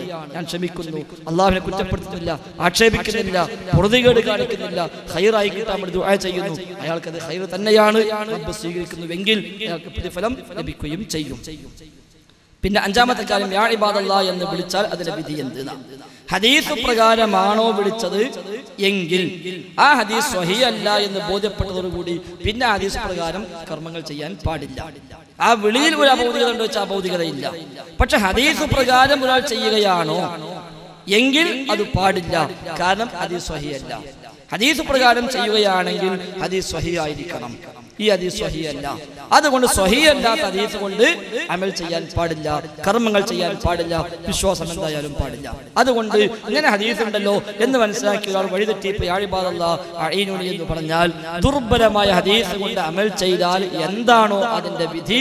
ആ വിധി അയാൾക്ക് ബാധകമാണ്. ഞാൻ അയാൾക്ക് ഹദീസ് അല്ല ഒന്നും അറിയില്ല. അയാൾ ഓടി വരണേ എന്ന് പറഞ്ഞു. ആരെങ്കിലും ഓടി വന്നോട്ടെ എന്നേ ഉള്ളൂ. അത് ആര് ഓടി എന്നാലും വേണ്ടില്ല. പല മനുഷ്യന്മാരോ പല മൃഗങ്ങളോ പക്ഷികളോ ആരെങ്കിലും വരട്ടെ. ആര് വന്നാലും എനിക്കൊന്നുമില്ല. എന്നൊക്കെ ഓടി വരുന്നേ അയാൾ പറഞ്ഞാണെങ്കിലോ ഒരു സാധാരണമായ സ്വാഭാവികമായ ഒരു പടച്ചിൽ മാത്രം എന്നേ ഉള്ളൂ. അതേസമയം അത് ബേസ് ജിന്നെ സഹായിക്കണേ പറയാൻ പറ്റോ പറ്റില്ല. മലക്കെ സഹായിക്കണേ പറയാൻ പറ്റോ പറ്റില്ല. അതായത് ഒരിക്കലും ഇതിൽ അനുവാദമില്ല. ഹദീസ് സ്വഹിയാണെങ്കിൽ പോലും ആ ഹദീസ് വെച്ചിട്ട് ജിന്നെ സഹായിക്കണേ പറയാൻ പറ്റോ പറ്റൂല. അതാണ് ഞങ്ങളുടെ പ്രബന്ധത്തിലും പറഞ്ഞത്. ഹദീസ് സ്വീകാര്യമാണെങ്കിൽ തന്നെ. ഇത് സ്വഹിയാണെന്ന് പരിഗണിച്ചാൽ തന്നെ ഇത് അത്തരം സാഹചര്യങ്ങളിലേക്ക് മാത്രം പരിമിതവും. ഹദീസിൽ വന്ന പദങ്ങളിൽ മാത്രം ഒതുങ്ങി നിൽക്കേണ്ടതുമാണെന്നാണ് പണ്ഡിതാഭിപ്രായം. അപ്പൊ സ്വീകാര്യമാണെങ്കിൽ ആ പദമേ പറയാവൂ. ആ സാഹചര്യത്തിലേ പറയാവൂ ലോകത്തെല്ലാ സ്ഥലത്തും ഇത് പറയാൻ പറ്റുമോ പറ്റൂല. യാത്രക്കാരനാണെങ്കിൽ വാഹനം നഷ്ടപ്പെട്ടാൽ വഴി തെറ്റിയാൽ മറ്റൊരു പ്രയാസം വന്നാൽ എന്നോ യാ ഇബാദല്ലാ അഈനൂനി എന്നോ ഹദീസിൽ വന്ന പദമെന്തോ ഹദീസിൽ വന്ന തത്വ എന്തോ ആ ആശയമേ ആ പദമേ ആ സാഹചര്യത്തിലെ അയാൾക്ക് പറയാൻ വകുപ്പുള്ളൂ. അയാൾ അപ്പുറത്തേക്ക് പോകാൻ വകുപ്പുമില്ല. സ്വഹീഹാണെങ്കിൽ നമ്മെ സംബന്ധിച്ച് സ്വഹീയല്ല അതുകൊണ്ട് നമുക്ക് അതും പറയാൻ വകുപ്പില്ല. അത് പറഞ്ഞുകൂടാ. കഴിഞ്ഞാലോ? ഉണ്ടെങ്കിൽ ചോദിച്ചോളൂ. ഈ ഹദീസിന്റെ വിഷയ വിഷയത്തിൽ തന്നെയാണ് എനിക്ക് ചോദിക്കാനുള്ളത്. ഈ ഹദീസിന്റെ വിഷയത്തിൽ വിശദീകരണമായിട്ട് സെക്രിയ സലാഹി പല ഭാഗത്തും പല വിശദീകരണങ്ങൾ ഉണ്ടായിട്ടുണ്ട്. ഇത് പുഴയിൽ വീഴുന്ന ആളെ കാര്യം. ചൂണ്ട ഇപ്പൊ ലാസ്റ്റ് പറഞ്ഞത് ഞാൻ കേട്ടിട്ടുള്ളത് ചൂണ്ടിടുന്ന ഞാൻ ഈ കൊപ്രകൃതി തന്നെ അതിന്റെ സീ അനസമോല ഒരു ക്ലിപ്പിട്ട് പോകാണ് ഞാൻ കണ്ടിട്ടുള്ളത്. ഞാൻ അതിന്റെ സീഡ് തീർത്തും കണ്ടിട്ടില്ല. അപ്പോൾ ഇത് ഇങ്ങനെ സെക്യുലസല ഇങ്ങനെ വിശദീകരിച്ച് വിശദീകരിച്ച് പല സാധാരണക്കാരായ അതായത് ഈ ഈ സുന്നി പ്രസ്ഥാനത്തിൽ നിന്ന് സുന്നത്തില്ലാത്ത സുന്നി പ്രസ്ഥാനത്തിൽ നിന്ന് മുജാഹിദ് പ്രസ്ഥാനത്തിലേക്ക് വന്ന സാധാരണ കിതാബും ഹദീസും ഖുറാനൊന്നും ശരിക്കും പഠിച്ചിട്ടില്ലാത്ത ഒരു സാധാരണക്കാരനെ സംബന്ധിച്ച്. ഇതിങ്ങനെ കേട്ടാൽ അയാൾക്ക് ഒരു ഒരു ഞാൻ എന്നിൽ നിന്ന് കുറെ കൂട്ടുകാരന്മാർ സംസാരിച്ചതിൽ നിന്ന് അവർക്കൊക്കെ ഇത് വളരെയധികം തെറ്റിദ്ധാരണ ഉണ്ടാക്കുകയും ഇങ്ങനെ വിശദീകരിച്ച് ഒരുപാട് വിഷയത്തിലേക്ക് എത്തുകയും ചെയ്തിട്ടുണ്ട്. അതിനെ കുറിച്ച് മൗലവിക്ക് എന്താണ് പറയാനുള്ളത്? ആ സീഡിയോ അദ്ദേഹത്തിന്റെ പ്രസംഗമോ പൂർണമായും സദസ്സിൽ ചെന്ന് ഇരുന്ന് കേട്ട ഒരാൾക്കും അതുകൊണ്ട് ഒരു തെറ്റിദ്ധാരണയും ഉണ്ടായിട്ടില്ല. ഉള്ള തെറ്റിദ്ധാരണ നീങ്ങുകയാണ് ചെയ്തത്. പിന്നെ തെറ്റിദ്ധാരണ ഉണ്ടായത് എപ്പോഴാണ് താങ്കൾ തന്നെ പറഞ്ഞതുപോലെ അനസ് മുസ്ലിം ക്ലിപ്പിട്ടപ്പോഴാണ് കുഴപ്പമായത്. അവിടെയാണ് പ്രശ്നം ഉണ്ടായത്. താങ്കളും പറഞ്ഞു ഞാൻ ആ സി ഡി കേട്ടിട്ടില്ല ക്ലിപ്പാണ് കേട്ടത് അല്ലെങ്കിൽ ഒരു പറയാ ഞാൻ സി ഡി പുള്ളിക്ക് തരണം. സുരാഹി എവിടെയാണോ പുഴക്കടവും ചൂണ്ടലും പറഞ്ഞത്. നിങ്ങൾ ആ സി ഡി സംഘടിപ്പിക്കും. എന്നിട്ട് അത് ഫുള്ള് കേൾക്കി അപ്പൊ നിങ്ങൾക്ക് തോന്നുന്നു പടച്ചറപ്പ ഈ പ്രസംഗത്തിനെ പറ്റിയാണല്ലോ അനസ് ക്ലിപ്പിട്ടത്. അപ്പൊ അയാൾക്ക് ഖുറാഫാത്ത് കുറച്ച് ബാക്കിയുണ്ടോ എന്ന് നിങ്ങൾ പോലും സംശയിച്ചു പോകും. അപ്പൊ അതുകൊണ്ട് നിങ്ങൾ ആ സീഡുകൾ സംഘടിപ്പിക്കുക. ഏത് സീഡിയിലാണോ അത് പറഞ്ഞത്. ആ സീഡ് നിങ്ങൾ സംഘടിപ്പിക്കും. പുഴക്കട് പറഞ്ഞത് നിങ്ങളെ നാട്ടിൽ നിന്നാണല്ലോ ഇവിടെ നിന്നാണത് പറഞ്ഞത് അപ്പൊ ആ സീഡ് എന്തായാലും നിങ്ങൾക്ക് ഇവിടെ കിട്ടും. ഇവിടുത്തെ പ്രവർത്തകന്മാർ വേണമെങ്കിൽ എത്തിച്ചേരും. അപ്പൊ അങ്ങനെ ആ പ്രസംഗിച്ച പ്രസംഗം കംപ്ലീറ്റ് കേൾക്കാം. എപ്പോഴാ പറഞ്ഞത്? എവിടെയാ പറഞ്ഞത്? എന്തിനാ പറഞ്ഞത്? ഏത് അർത്ഥത്തിലാ പറഞ്ഞത്? ഈ ഹദീസ് വെച്ചത് പുഴക്കടവൊക്കെ ഉണ്ടായതാണോ? ഈ ഹദീസ് വെച്ച് ചൂണ്ടലിടാൻ പോയതാണോ? അതല്ല വേറൊരുത്തൻ ചൂണ്ടലുമായി വന്നപ്പോ ആ ചൂണ്ടൽ ഓനെ തിരിച്ചു കൊളുത്തി കൊടുത്തതാണോ എന്ന് അത് കംപ്ലീറ്റ് കേട്ടാൽ മനസ്സിലാവും. അത് കേട്ട ആളുകൾക്ക് ആ ക്ലിപ്പ് അനുസ്മിച്ച് ഇട്ടപ്പോഴാണ് എന്താ വസ്തു എന്ന് കേൾക്കണം. അപ്പൊ സൊലാഹിന്റെ പരിപാടിക്ക് പോയി. അപ്പൊ സൊലാഹി വിശദീകരിച്ചു. അപ്പൊ അലഹമില്ല ഇത്രയേ ഉള്ളൂലേ. നമ്മൾ സൊലാഹി തെറ്റിദ്ധരിച്ചു. ഈ അനസ്മിസിനെ കൊണ്ട് ഒരു ഇടങ്ങാറ് എന്ന് മനസ്സിലാക്കി റുവാമ്പിന്റെ സൊലാഹിന്റെ ഒപ്പം നിൽക്കുക ചെയ്തത്. അപ്പൊ അതുകൊണ്ട് നിങ്ങൾ ഒന്നുകിൽ അനസ്മുസ്ലിയാരെ വിളിച്ച് പറയാ നിങ്ങൾ ചെയ്ത് ശരിയല്ല അങ്ങനെ ക്ലിപ്പിടാൻ പാടില്ല. സ്വലാഹി അതല്ല ഉദ്ദേശിച്ചത്. സ്വലാഹി പറഞ്ഞ ഉദ്ദേശത്തിലല്ല നിങ്ങൾ ഇട്ടുള്ളത് ഒന്നുകിൽ വിളിച്ച് പറയാം തൊണ്ണൂറ്റിനാല് നാൽപ്പത്തേഴ് നാനൂറ് നൂറ്റി അഞ്ചാണ് നമ്പർ ഒന്ന് വിളിച്ച് പറയാം നിങ്ങളെ പറഞ്ഞത് ശരിയല്ല അങ്ങനെ ചെയ്യാൻ പാടില്ല. സ്വലാഹിയുടെ സീഡുകൾ നിങ്ങൾ സംഘടിപ്പിക്കുക. അത് കംപ്ലീറ്റ് ധൈര്യമായി ഏത് സുന്നിക്കും കൊടുക്കാം ഏത് സുന്നിക്കും കൊടുക്കുക എല്ലാ തെറ്റിദ്ധാരും നീങ്ങി. ഓ അങ്ങോട്ട് പോരുന്നല്ലാതെ ഓനെ തെറ്റിദ്ധാരം ഉണ്ടാവില്ല. ക്ലിപ്പ് മാത്രം കേൾക്കുമ്പോൾ ഉണ്ടാവും ശരിയാണ്. അതിന് സംശയമൊന്നുമില്ല. അപ്പൊ അതല്ല കേൾപ്പിക്കരുത് സീഡ് നിങ്ങൾ കേൾപ്പിക്കുക. അപ്പോൾ മൗലവി പറയുന്നത് സലാഹി സംസാരിച്ച മുഴുവൻ കാര്യങ്ങളും മൗലവി അംഗീകരിക്കുന്നുണ്ടോ? ഇല്ല. ഇല്ല ഇല്ല. അതിലേതാണ്. എവിടെയെങ്കിലും സെക്കിര സലാഹി സംസാരിച്ച ഞാൻ ആ വിഷയത്തിലേക്ക് തന്നെ വരികയാണ് വീണ്ടും. സെക്കിര സലാഹി സംസാരിച്ച ഈ വിഷയത്തിൽ നിന്നുകൊണ്ട് സംസാരിച്ച മുഴുവൻ വിഷയങ്ങളും ശരിയാണെന്ന് മൗലവിക്ക് അഭിപ്രായമുണ്ടോ? നേരത്തെ വിശദമായി പറഞ്ഞു. അങ്ങനെ പറയരുത്. അങ്ങനെ പറയരുത്. മൗലവി സംസാരിച്ച സലാഹി- സലാഹി സംസാരിച്ച എവിടെയെങ്കിലും എന്തെങ്കിലും കുഴപ്പങ്ങൾ ആ സംസാരത്തിൽ ഉണ്ടായിട്ടുണ്ടോ?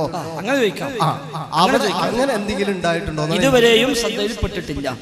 സ്വലാഹി പറഞ്ഞ പ്രസംഗങ്ങളിൽ ഈ വിഷയമായി ഞാൻ ഒരു മിനിറ്റ് ചോദിച്ചാൽ എനിക്ക് ഒരു മിനിറ്റെങ്കിലും പറയണ്ടേ? ഒരു മിനിറ്റ് ചോദിച്ചാൽ ഒരു മിനിറ്റെങ്കിലും ഉത്തരം പറയണ്ടേ? ജക്കരിയ സുലായി ഇവിഷയമായി പ്രസംഗിച്ച വിഷയത്തിൽ ഇതുവരെയും ഒരു അബദ്ധം പറ്റിയതായി ശ്രദ്ധയിൽ വന്നിട്ടില്ല. ആ ബാക്കി ഈ ഇങ്ങനെ വിശദീകരിച്ച് ഞാൻ ഒരുപാട് പണ്ഡിതന്മാരെ പ്രസംഗങ്ങൾ കേട്ടിട്ടുണ്ട്. ഈ വിഷയം ഇങ്ങനെ വേറെ ഒരു പണ്ഡിതന്മാരും വിശദീകരിച്ച് സംസാരിച്ചതായിട്ട് ഞാൻ ഇതുവരെ കേട്ടില്ല ഇത് ഇങ്ങനെ വിശ വിശദീകരിച്ച് സംസാരിച്ചതിന്റെ പേരിലാണ് ഒരുപാട് ആൾക്കാർക്ക് തെറ്റിദ്ധാരണ ഉണ്ടായിട്ടുള്ളത്. അത് പ്രശ്നം വേറെയാണ്. അതായത് ഇത് എല്ലാ പണ്ഡിതന്മാരും ഇറങ്ങി വിശദീകരിക്കേണ്ട ഒരു വിഷയമല്ല. ഇത് ഒന്നോ രണ്ടോ ആളുകൾ ഏറ്റെടുത്ത് ആളുകളുടെ ഒരു തെറ്റിദ്ധാരണ ക്ലിയർ ആക്കുക എന്ന ആവശ്യമേ ഉള്ളൂ. നമ്മുടെ ദൗത്യം ഇത് വിശദീകരിക്കലല്ല. നമ്മുടെ ദൗത്യം ദൈവത്തിലേക്ക് ഇറങ്ങലാണ്. അപ്പൊ അതുകൊണ്ട് ഞങ്ങൾ രണ്ടു മൂന്നാൾ തീരുമാനിച്ചു. ഇത് ഞങ്ങൾ കൈകാര്യം ചെയ്തോളാം. ബാക്കിയുള്ളവർ വേറെ വാഴ്ന്നിട്ട് പോട്ടെ.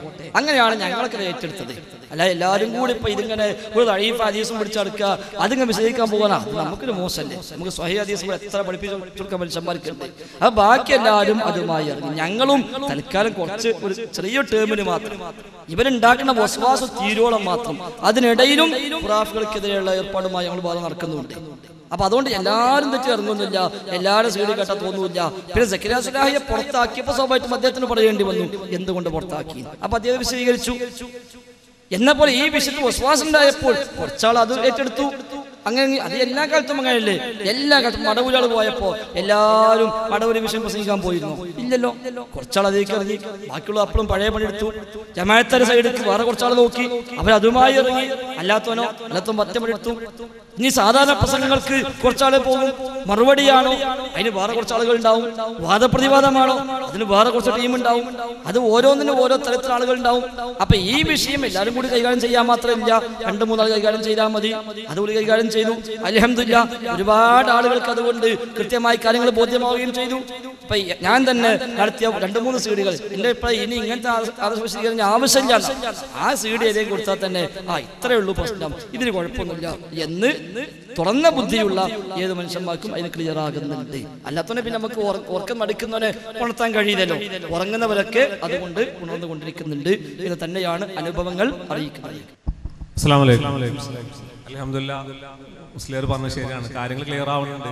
കാരണം വെച്ചാൽ ആദ്യം ഞാനൊക്കെ ഇത് പറഞ്ഞിരുന്ന ഈ വാദം ഇല്ല അല്ലാന്നില്ല അപ്പൊ സംഭവം അങ്ങനെ ഒരു വാദം ഉണ്ട് എന്നുള്ളത് മനസ്സിലാവുന്നുണ്ട്. ഒന്നത്. രണ്ടാമത് താങ്കൾ ഇസ്മായിൽ മാസ് മാഷായിട്ട് സംസാരിച്ച സംഭവം ഒരു ഇതേപോലെ മുഖാമുഖത്തിൽ പറയുന്നുണ്ട് സക്രിയ സലാഹിനെ ഞാൻ തിരുത്തും. അദ്ദേഹത്തിനോട് അബദ്ധം പുഴയിൽ ഇവിടെ സംഭവത്തിൽ സംഭവിച്ചെന്ന് നിങ്ങൾ പറഞ്ഞിട്ടില്ല. അപ്പൊ അവിടെയാണ് താങ്കൾ അലഹമ്മദിയുടെ പ്രസക്തി. അതുകൊണ്ടല്ല. അല്ല ഞാനടക്കം എന്റെ ഇസ്മായിൽ മാഷോട് ഞാൻ എന്ത് പറഞ്ഞു എന്നുള്ളത് നേരത്തെ ഞാൻ പറഞ്ഞ അതേ സീഡിയിലുണ്ട് പുഴയിൽ വീണ അക്കലാനികളും കരകയറ്റിയ സലഫികളും എന്ന സീഡിയിൽ തന്നെ ഏകദേശം ഒരു ഒരു മൂന്ന് മണിക്കൂർ സമയമാകുമ്പോൾ ആ സംഗതി അവിടെ വിശദീകരിക്കുന്നുണ്ട്. അവിടെ എന്താ പറഞ്ഞത്? എന്നോട് ചോദ്യം ഉന്നയിച്ച ഒരു സുല്ലമി. അയാൾ പറഞ്ഞു താങ്കൾ ഒരാളോട് പറഞ്ഞിട്ടുണ്ടല്ലോ സുലായിക്ക് അതിൽ തെറ്റുപറ്റി അത് ഞാൻ ശ്രദ്ധയിൽപ്പെടുത്തിയിട്ടുണ്ട് എന്ന് പറഞ്ഞിട്ടുണ്ടല്ലോ. അതല്ലേ നേരത്തെ ഞാനും പറഞ്ഞത്? പ്രമാണത്തിനപ്പുറം പറഞ്ഞാൽ സ്വീകരിക്കൂലാൻ. എന്നാ പ്രമാണത്തിനപ്പുറം പറഞ്ഞു എന്നാണോ തിരുത്തിയത്? അല്ല സീഡി തന്നെ ഉണ്ട്. പിന്നെ എന്താ പറഞ്ഞത്? ഇത്തരം ഉദാഹരണങ്ങൾ നിങ്ങൾ പരമാവധി പ്രയോഗിക്കാതിരിക്കാൻ ശ്രദ്ധിക്കണം. നേരത്തെ മറ്റേ സഹോദരൻ പറഞ്ഞല്ലോ ഉദാഹരണം എനിക്ക് മനസ്സിലാവില്ല വേറെ ചില മനുഷ്യന്മാർക്ക് ഉദാഹരണം പറഞ്ഞെങ്കിലേ മനസ്സിലാവുള്ളൂ. എന്നിട്ട് വേണം ആ ഉദാഹരണം കൊണ്ട് പുനയിറങ്ങാൻ. അത് ഓൻ കൊണ്ടുവരുന്ന ചൂണ്ടല. അപ്പൊ ഇത് തിരിച്ചറിയാതെ ഒരു പക്ഷേ മറ്റു ദുരുദ്ദേശമൊന്നും ഇല്ലാത്തതുകൊണ്ടും വളഞ്ഞ വഴി അറിയാത്തത് കൊണ്ടും ഒരാൾ ചോദ്യം ചോദിക്കും എനിക്ക് ഉദാഹരണം കിട്ടണം. അപ്പൊ സെക്രട്ടറി ഇതിന് ഉദാഹരണം പറഞ്ഞെടുത്തു. ആ കിട്ടിപ്പോയി. ഒരതും കൊണ്ട് ഇറങ്ങി ആ ചൂണ്ടലിടാൻ പോകാന്ന് പറഞ്ഞിട്ടുണ്ട്. അപ്പൊ അതുകൊണ്ട് ഇത്തരം ഉദാഹരണങ്ങൾ നിങ്ങൾ പറയുമ്പോൾ ഒന്ന് ശ്രദ്ധിക്കണം. ഇത് എല്ലാവരും ആത്മാർത്ഥമായി ചോദിക്കുന്നതാകണമെന്നില്ല. ഞാൻ ആത്മാർത്ഥമായി ചോദിച്ചാലും അത് പിന്നെ ആരൊക്കെ ഏതൊക്കെ രൂപത്തിൽ ദുരുപ- ദുരുപയോഗം ചെയ്യുമെന്ന് പറയാനും പറ്റില്ല. അതുകൊണ്ട് അത്തരം ഉദാഹരണങ്ങൾ പറയരുത്. അത് ശരിയല്ല എന്ന് ഞാൻ സുലാഹിയോട് പറഞ്ഞിട്ടുണ്ട്. അത് സുലാഹി അംഗീകരിച്ചിട്ടുമുണ്ട്. അപ്പൊ അതിൽ തർക്കമില്ല. അതാ ആ സീഡിലും പറഞ്ഞിട്ടുണ്ട്. ഇനി അതല്ല പ്രമാണത്തിനപ്പുറം സ്വലാഹി പറഞ്ഞത് ബോധ്യമായോ? അദ്ദേഹത്തെ വിളിച്ചു പറയും സ്വലാഹിങ്ങളെ പറഞ്ഞത് കേട്ടോ. അങ്ങനെ ആ ആയത്തിലില്ല. അങ്ങനെ ഹദീഫിനില്ല പറയും. എന്റെ അടുത്ത് തെറ്റിയോ? സ്വലാഹി ഇങ്ങോട്ട് വിളിച്ചു പറയും. അതാണോ പരസ്പര ബന്ധം. അത് തീർച്ചയാണ്. സ്വാഭാവികമായും പ്രഭാഷകന്മാരാരും തെറ്റുപറ്റൂല എന്നോ ഒരു അബദ്ധം സംഭവിക്കൂല എന്നോ ഉത്തരം ശ്രദ്ധിക്കും. ചോദ്യം ചോദിക്കാൻ മാത്രമേ പിന്നെ ആർക്കും ഒരു അബദ്ധം പറ്റൂല എന്നോ എല്ലാവരും നൂറ് ശതമാനം ശരി മാത്രമേ വായിന്ന് വരുള്ളൂന്നോ എന്നൊന്നും ഞാൻ മനുഷ്യന്മാരാണ്. തെറ്റുകൾ വരാം അബദ്ധങ്ങൾ വരാം. അത് ആർക്കാണോ ബോധ്യമായത്? ഓൻ വിളിച്ചു പറഞ്ഞെടുക്കും താങ്കൾക്കും വിളിച്ചു പറഞ്ഞുതരാം. ഞങ്ങൾക്ക് സംസാരത്തിൽ അബദ്ധമുണ്ടോ? താങ്കൾക്ക് വിളിച്ചു പറയാം. നിങ്ങൾ പറഞ്ഞത് ശരിയില്ലല്ലോ എന്ന് പറയാം. വീണ്ടും പരിശോധിക്കാൻ തർക്കമൊന്നുമില്ല. നമ്മളാരും ഒരു വാക്ക് പറഞ്ഞു കഴിഞ്ഞാൽ അത് ന്യായീകരിച്ച് അതിൽ നിൽക്കും എന്നൊരു വാശി നമുക്കില്ല തെറ്റാണോ? തെറ്റാണ് തുറന്ന് സമ്മതിക്കും. ഇത് ദീനിന്റെ കാര്യമല്ലേ? പരലോകത്തിലെ വിഷയമല്ലേ? അങ്ങനത്തെ ഒരു വാശിയും കാണുന്നില്ലല്ലോ അപ്പൊ അതുകൊണ്ട് ആ പരസ്പര ഉപദേശത്തിന്റെ ഭാഗമായി നസീഹത്തിന്റെ ഭാഗമായി അങ്ങോട്ടും ഇങ്ങോട്ടും ഒക്കെ ഉപദേശിക്കാറുണ്ട്. ആ കൂട്ടത്തിലാണ് ഇതും ഉള്ളത്. ഇപ്പൊ പറഞ്ഞില്ലേ ഇത് ഇതിൻ താങ്കൾ തിരുത്തിയെന്ന്. തിരുത്തിയതിനു ശേഷം ഇതേ വാദ അദ്ദേഹം വീണ്ടും പറഞ്ഞിട്ടുണ്ടല്ലേ? മത്സ്യം പിടിക്കാൻ പോണത് അതിന്റെ ശേഷം പറഞ്ഞിട്ടില്ല. ശേഷമാണ് കൊണ്ടുവന്നത്. അദ്ദേഹം അപ്പൊ അവിടെ സെക്രട്ടറിയലായി ഹദീസ് പരിഗണിച്ചിട്ടില്ല. ഈ വാദങ്ങളെ ഇടയിൽ അതിന്റെ ബേസിലല്ല പറഞ്ഞിട്ടുള്ളത്. അവിടെ അങ്ങനെ വാദമേ ഇല്ല. നമ്മൾ ആദ്യം വാദമല്ല ഉള്ളത്. ജിന്നിനെ വിളിച്ച് തേടാമെന്നോ തേടിയാ കുഴപ്പമില്ല എന്നോ അത് പിന്നെ പിന്നെ കുറ്റകരമല്ല എന്നോ ശിർക്കല്ല എന്നോ ഉള്ള വാദമേ ഇല്ല. ജീവിതത്തിൽ ഒരു ഘട്ടത്തിലും ജിന്നുകളുമായുള്ള യാതൊരു ഇടപാടുകളും നമുക്ക് അനുവദിക്കപ്പെട്ടിട്ടേ ഇല്ല. അതിൽ സ്വലാഹിക്കും തർക്കമില്ല എനിക്കും തർക്കമില്ല ഞങ്ങൾക്ക് ആർക്കും തർക്കമില്ല. എല്ലാം പാടില്ലാത്ത തന്നെ എല്ലാം ഹെറാം. അതാണ് മുത്തുലക്കൽ കംപ്ലീറ്റ് ഹറാമാണ് കുറച്ചെങ്കിലും പറ്റുമെന്ന വാദം അനസ് മുസ്ലിയാർക്കേ ഉള്ളൂ. അയാളാണ് പറഞ്ഞത് കൂടെ പോകുമ്പോൾ എന്താ സുഹൃത്ത സുഖല്ലേ? വിശേഷം എന്തൊക്കെ? എന്നൊക്കെ ചോദിച്ചാൽ അതിനിപ്പന്ന തകരാറ് എന്ന് ചോദിച്ചത് അനസ് മുസ്ലിയാരാണ്.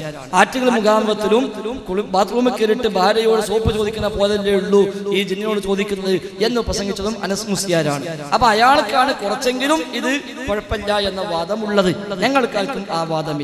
ജിന്നുകളുമായുള്ള ഒരു ബന്ധവും നമുക്ക് അനുവദിക്കപ്പെട്ടിട്ടില്ല. പ്രാർത്ഥനയാകുന്ന സഹായം ആവശ്യപ്പെടലാണോ? സഹായ തേട്ടമാണോ? അത് ശുർക്ക് തന്നെയാണ്. സംശയമില്ല. ഇനി പ്രാർത്ഥന ഒന്നുമില്ല അങ്ങനത്തെ വിശ്വാസമില്ല അങ്ങനത്തെ ചിന്തയുമില്ല. ഒരു കേവലം വെറുതൊരു വിളിയാണോ? അതുപോലും പാടില്ല. കാരണം അത് ദുരുപയോഗം ചെയ്ത് പിശാച്ച് നമ്മെ ശിർക്കിലേക്ക് കൊണ്ടുപോകും. അതാണ് ശിർക്കിലേക്കുള്ള വഴി. വസിയത്തു ശിർക്ക് എന്നുള്ളത്. അതുകൊണ്ട് അതും പാടില്ല. ഒന്നും പാടില്ല. വാദമതല്ല.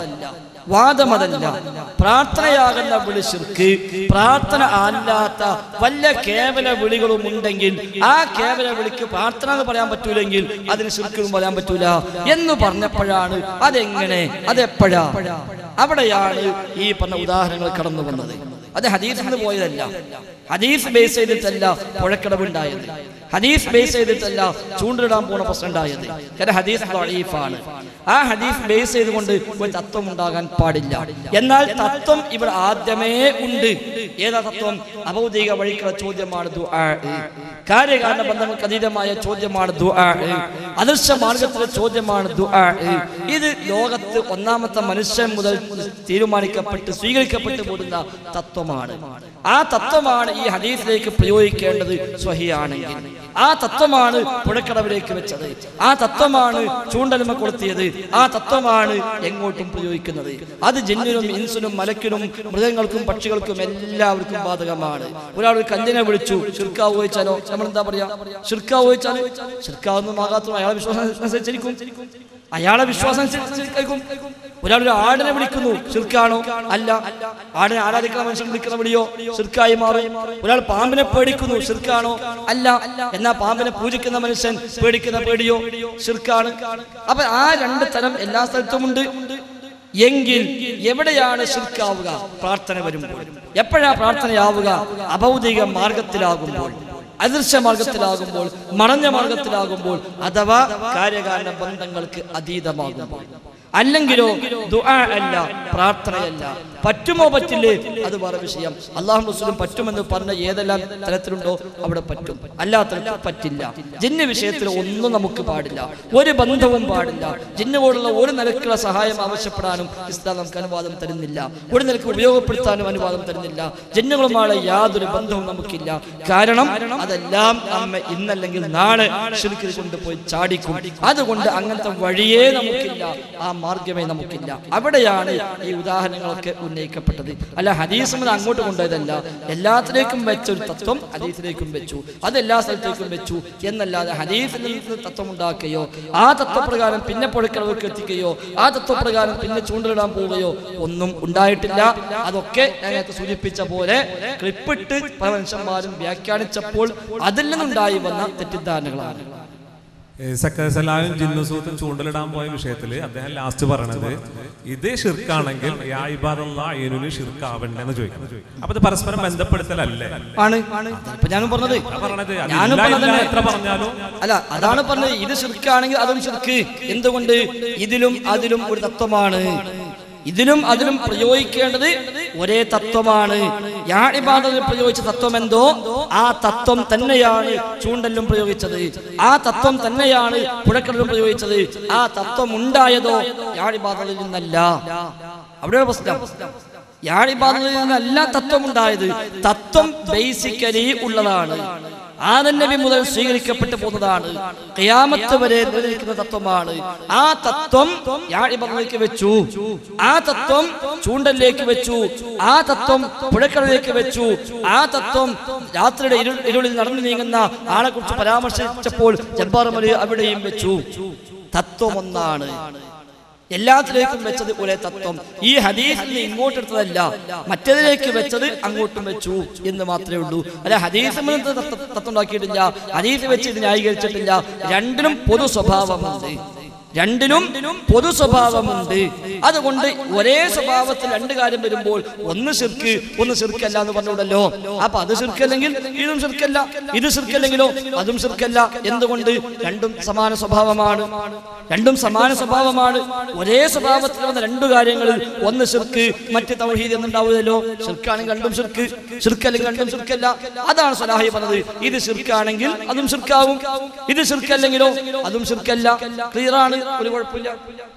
ഇപ്പൊ ഇവിടെ ഷിർക്കാവുന്ന മാനദണ്ഡം നമ്മളെ മനസ്സിന്റെ വിശ്വാസം നല്ല പറഞ്ഞു അങ്ങനെയാണെങ്കിൽ ഹുനൈൻ യുദ്ധത്തിന് പോകുന്നൊരു സംഭവം മുസ്ലിയർക്ക് അറിയില്ല. അപ്പൊ ഞാൻ പറയണ്ടല്ല. ഹുനൈൻ യുദ്ധത്തിന് ദാത്തിന് അൻവാത്തിന് മരത്തിൽ വാൾ തൂക്കിയിട്ട് ബർക്കത്ത് എടുക്കട്ടെ എന്ന് ചോദിക്കുമ്പോൾ റസൂലുള്ള അവിടെ ഈ മാനദണ്ഡങ്ങളൊന്നും പറഞ്ഞു കൊടുക്കുന്നില്ല. അത് ശിർക്കാദിനാണ് അവരെ തെരഞ്ഞെടുപ്പെടുത്തുന്നത് അവിടെ അവർക്ക് അഭ്യക്സായത്തിൽ കുളുവ അത്തരം രീതിയിലുള്ള ചോദ്യങ്ങളോ പഠനങ്ങളോ അവിടെ നടന്നിട്ടില്ല. ആ ഒരു മാനദണ്ഡം എവിടെ സ്വീകരിക്കണ്ടേ? അവിടെയും ഉണ്ട്. അതുകൊണ്ടാ ശിർക്കായത് വാൾ തൂക്കാൻ മരം വേണമെന്ന് ആവശ്യപ്പെട്ട അബൂവാഖിദുല്ലൈസി പറഞ്ഞ ഇമാം തുറമുദി ഉദ്ധരിച്ച ഹദീസ്. അത് ശിർക്കാവാൻ കാരണം എന്താ? നബി തന്നെ വിശദീകരിച്ചു. മൂസ ഇജ്അൽ ലനാ ഇലാഹൻ കമാ ലഹും ആലിഹ. ഞങ്ങൾക്ക് ഇലാഹിനെ വേണമെന്ന് ചോദിക്കും പോലെയാണിത് എന്താ കാരണം അക്സാവോയത്തുണ്ട് എന്താ അപ്- അഭൗതിക വഴിയിൽ അദൃശ്യ മാർഗത്തിൽ കാര്യകാരണ ബന്ധങ്ങൾക്ക് അതീതമായി ഒരു ഗുണം പ്രതീക്ഷിക്കുന്നു. അതവിടെ ഉണ്ട് തരിക്കടില്ല ഈ സഹാബിയാൾ നടന്നിങ്ങനെ പോകുമ്പോൾ റസൂലെ വാൾ ചുമന്ന് കുഴങ്ങിപ്പോയി. ഈ വാൾ മനത്തിൽ തൂക്കട്ടെ എന്ന് ചോദിച്ചപ്പോൾ അത് ഇലാഹിനെ ചോദിക്കലാണല്ലോ എന്ന് പറഞ്ഞിരുന്നുവെങ്കിൽ സഹോദര ചോദ്യം ന്യായമാണ്. അതല്ല ഉണ്ടായത്. മറിച്ച് ഈ വാളതിൽ തൂക്കി ആ വാളുമായി പോയി യുദ്ധം ചെയ്താൽ എന്തോ ഒരു സവിശേഷത എന്തോ ഒരു ഒരു ഒരു പ്രത്യേകമായ ഒരു മെച്ചം അതിൽ നിന്ന് ഉണ്ടാകുമെന്ന് പ്രതീക്ഷിക്കുന്നു. അതുകൊണ്ട് ആ വാൾ തൂക്കാൻ മരം വേണമെന്ന് പറഞ്ഞത് അതാണ് അർസാവോയത്ത്. അതാണ് അങ്ങേയറ്റത്തെ വിനയവും താഴ്മയും. അതാണ് അഭൗതിക മാർഗം. അതാണ് കാര്യകാലബന്ധങ്ങൾക്ക് അതീതം അതേസമയം ഈ വാളൊന്ന് മനത്തിൽ തൂക്കി അല്പം വിശ്രമിക്കട്ടെ നബിയെ എന്ന് ചോദിച്ചാലോ? മറുപടി പറയില്ല. അത് കാര്യകാലങ്ങൾക്ക് ഉള്ളിലാണ് അത് ഭൗതികമാണ് ദൃശ്യമാർഗമാണ് തെളിഞ്ഞ മാർഗമാണ്. ഇവിടെയോ? ഇവിടെ അദൃശ്യ മാർഗത്തിൽ മറഞ്ഞ മാർഗത്തിൽ അഭൗതിക മാർഗത്തിൽ കാര്യ കാരണ ബന്ധങ്ങൾക്കതീതമായ വഴിയിൽ ഗുണമാശിച്ചു അപ്പൊ റസൂൽ പറഞ്ഞു ഇത് ഇലാഹിനെ വേണമെന്ന് ചോദിക്കും പോലെയാണ്. ക്ലിയർ ആണ്? പ്രശ്നമില്ല ആ സുലൈമാൻ. ബദരീങ്ങളെ രക്ഷിക്കണേ മൊയ്തീൻ ഷേഹെ കാക്കണേ. ഇതുപോലെ ജിന്നെ രക്ഷിക്കണേ എന്ന് പറഞ്ഞാൽ ഷിർക്കാണ് എന്നാൽ ജിന്നുകളോട് ഭൗതികമായ സഹായം ചോദിച്ചാൽ അത് ശിർക്കല്ല ഹറാമാണ്. ഇതിന് ചക്രേശ്വരായ പ്രസംഗത്തിൽ എനിക്ക് കേൾക്കാൻ സാധിച്ചുള്ളൂ.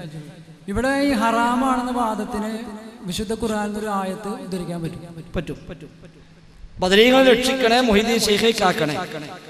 ഈ രണ്ട് വിളിയും ശിർക്ക്. ആ സ്ഥാനത്ത് ജിന്നെ സഹായിക്കണേ പറഞ്ഞാൽ അതും സംശയമില്ല.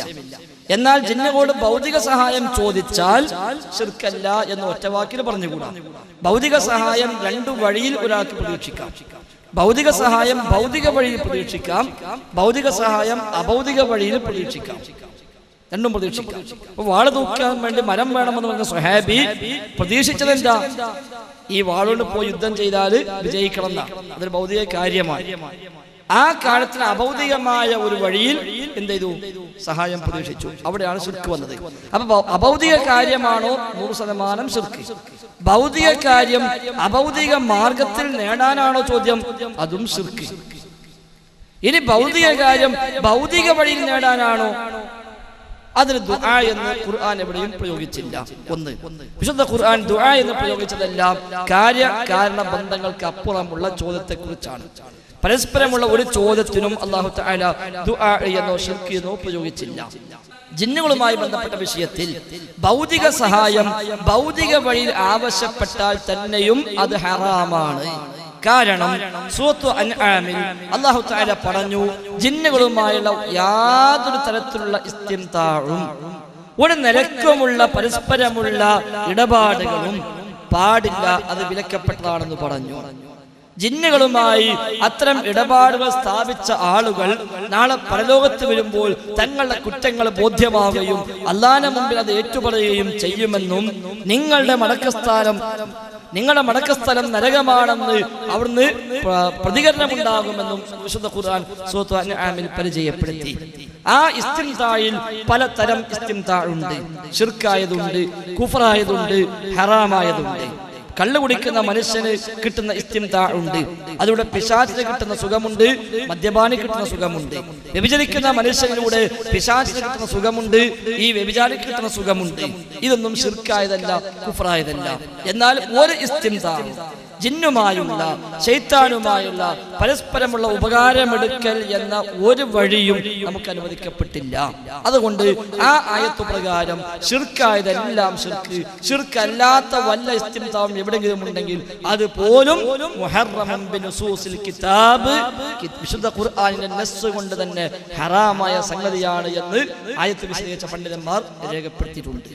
ഈ ആയത്തിന്റെ വിശദീകരണത്തിൽ അമാൻ മൗലവി എഴുതിയിരിക്കുന്നത് ഈ ഇസ്തിംതാവിനെ കുറിച്ച് അദ്ദേഹം പറയുന്നത് പിശാദിനുള്ള ഉപകാരമെടുക്കൽ പിശാദിനുള്ള പ്രാർത്ഥനയും അതേപോലെ പിശാദിനുള്ള ആരാധനയും ദിവ്യത്വം കൽപ്പിച്ചിട്ടുള്ള ആരാധനയുമായി ബന്ധപ്പെട്ട് അഥവാ ഷിർക്കുമായി ബന്ധപ്പെട്ട് ഉപയോഗപ്പെടുത്താറുണ്ട് അവ കേവലമായിട്ട് ഇപ്പൊ കള്ളുകുടി പോലത്തെ ഒരു ഹറാമിനെ കുറിച്ചല്ല അമാനുമൊലിയോടെ വിശദീകരിച്ചിട്ടുള്ളത്.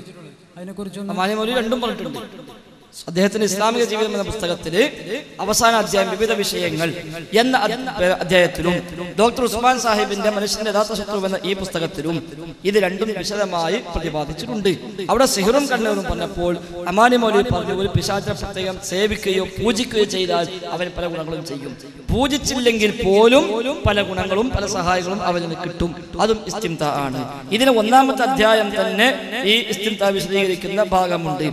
അവിടെ ഉസ്മാൻ സാഹിബ് വളരെ വിശദമായി എന്തെല്ലാമാണ് ഇസ്തിംതാഴ്? എങ്ങനെയെല്ലാമാണ് അത് വരിക എന്ന് വളരെ വിശദമായി ഉസ്മാൻ സാഹിബ് ഇതിൽ വിശദീകരിച്ചിട്ടുണ്ട്. ഏതൊക്കെ രൂപത്തിൽ എങ്ങനെയെല്ലാം ഇതാ?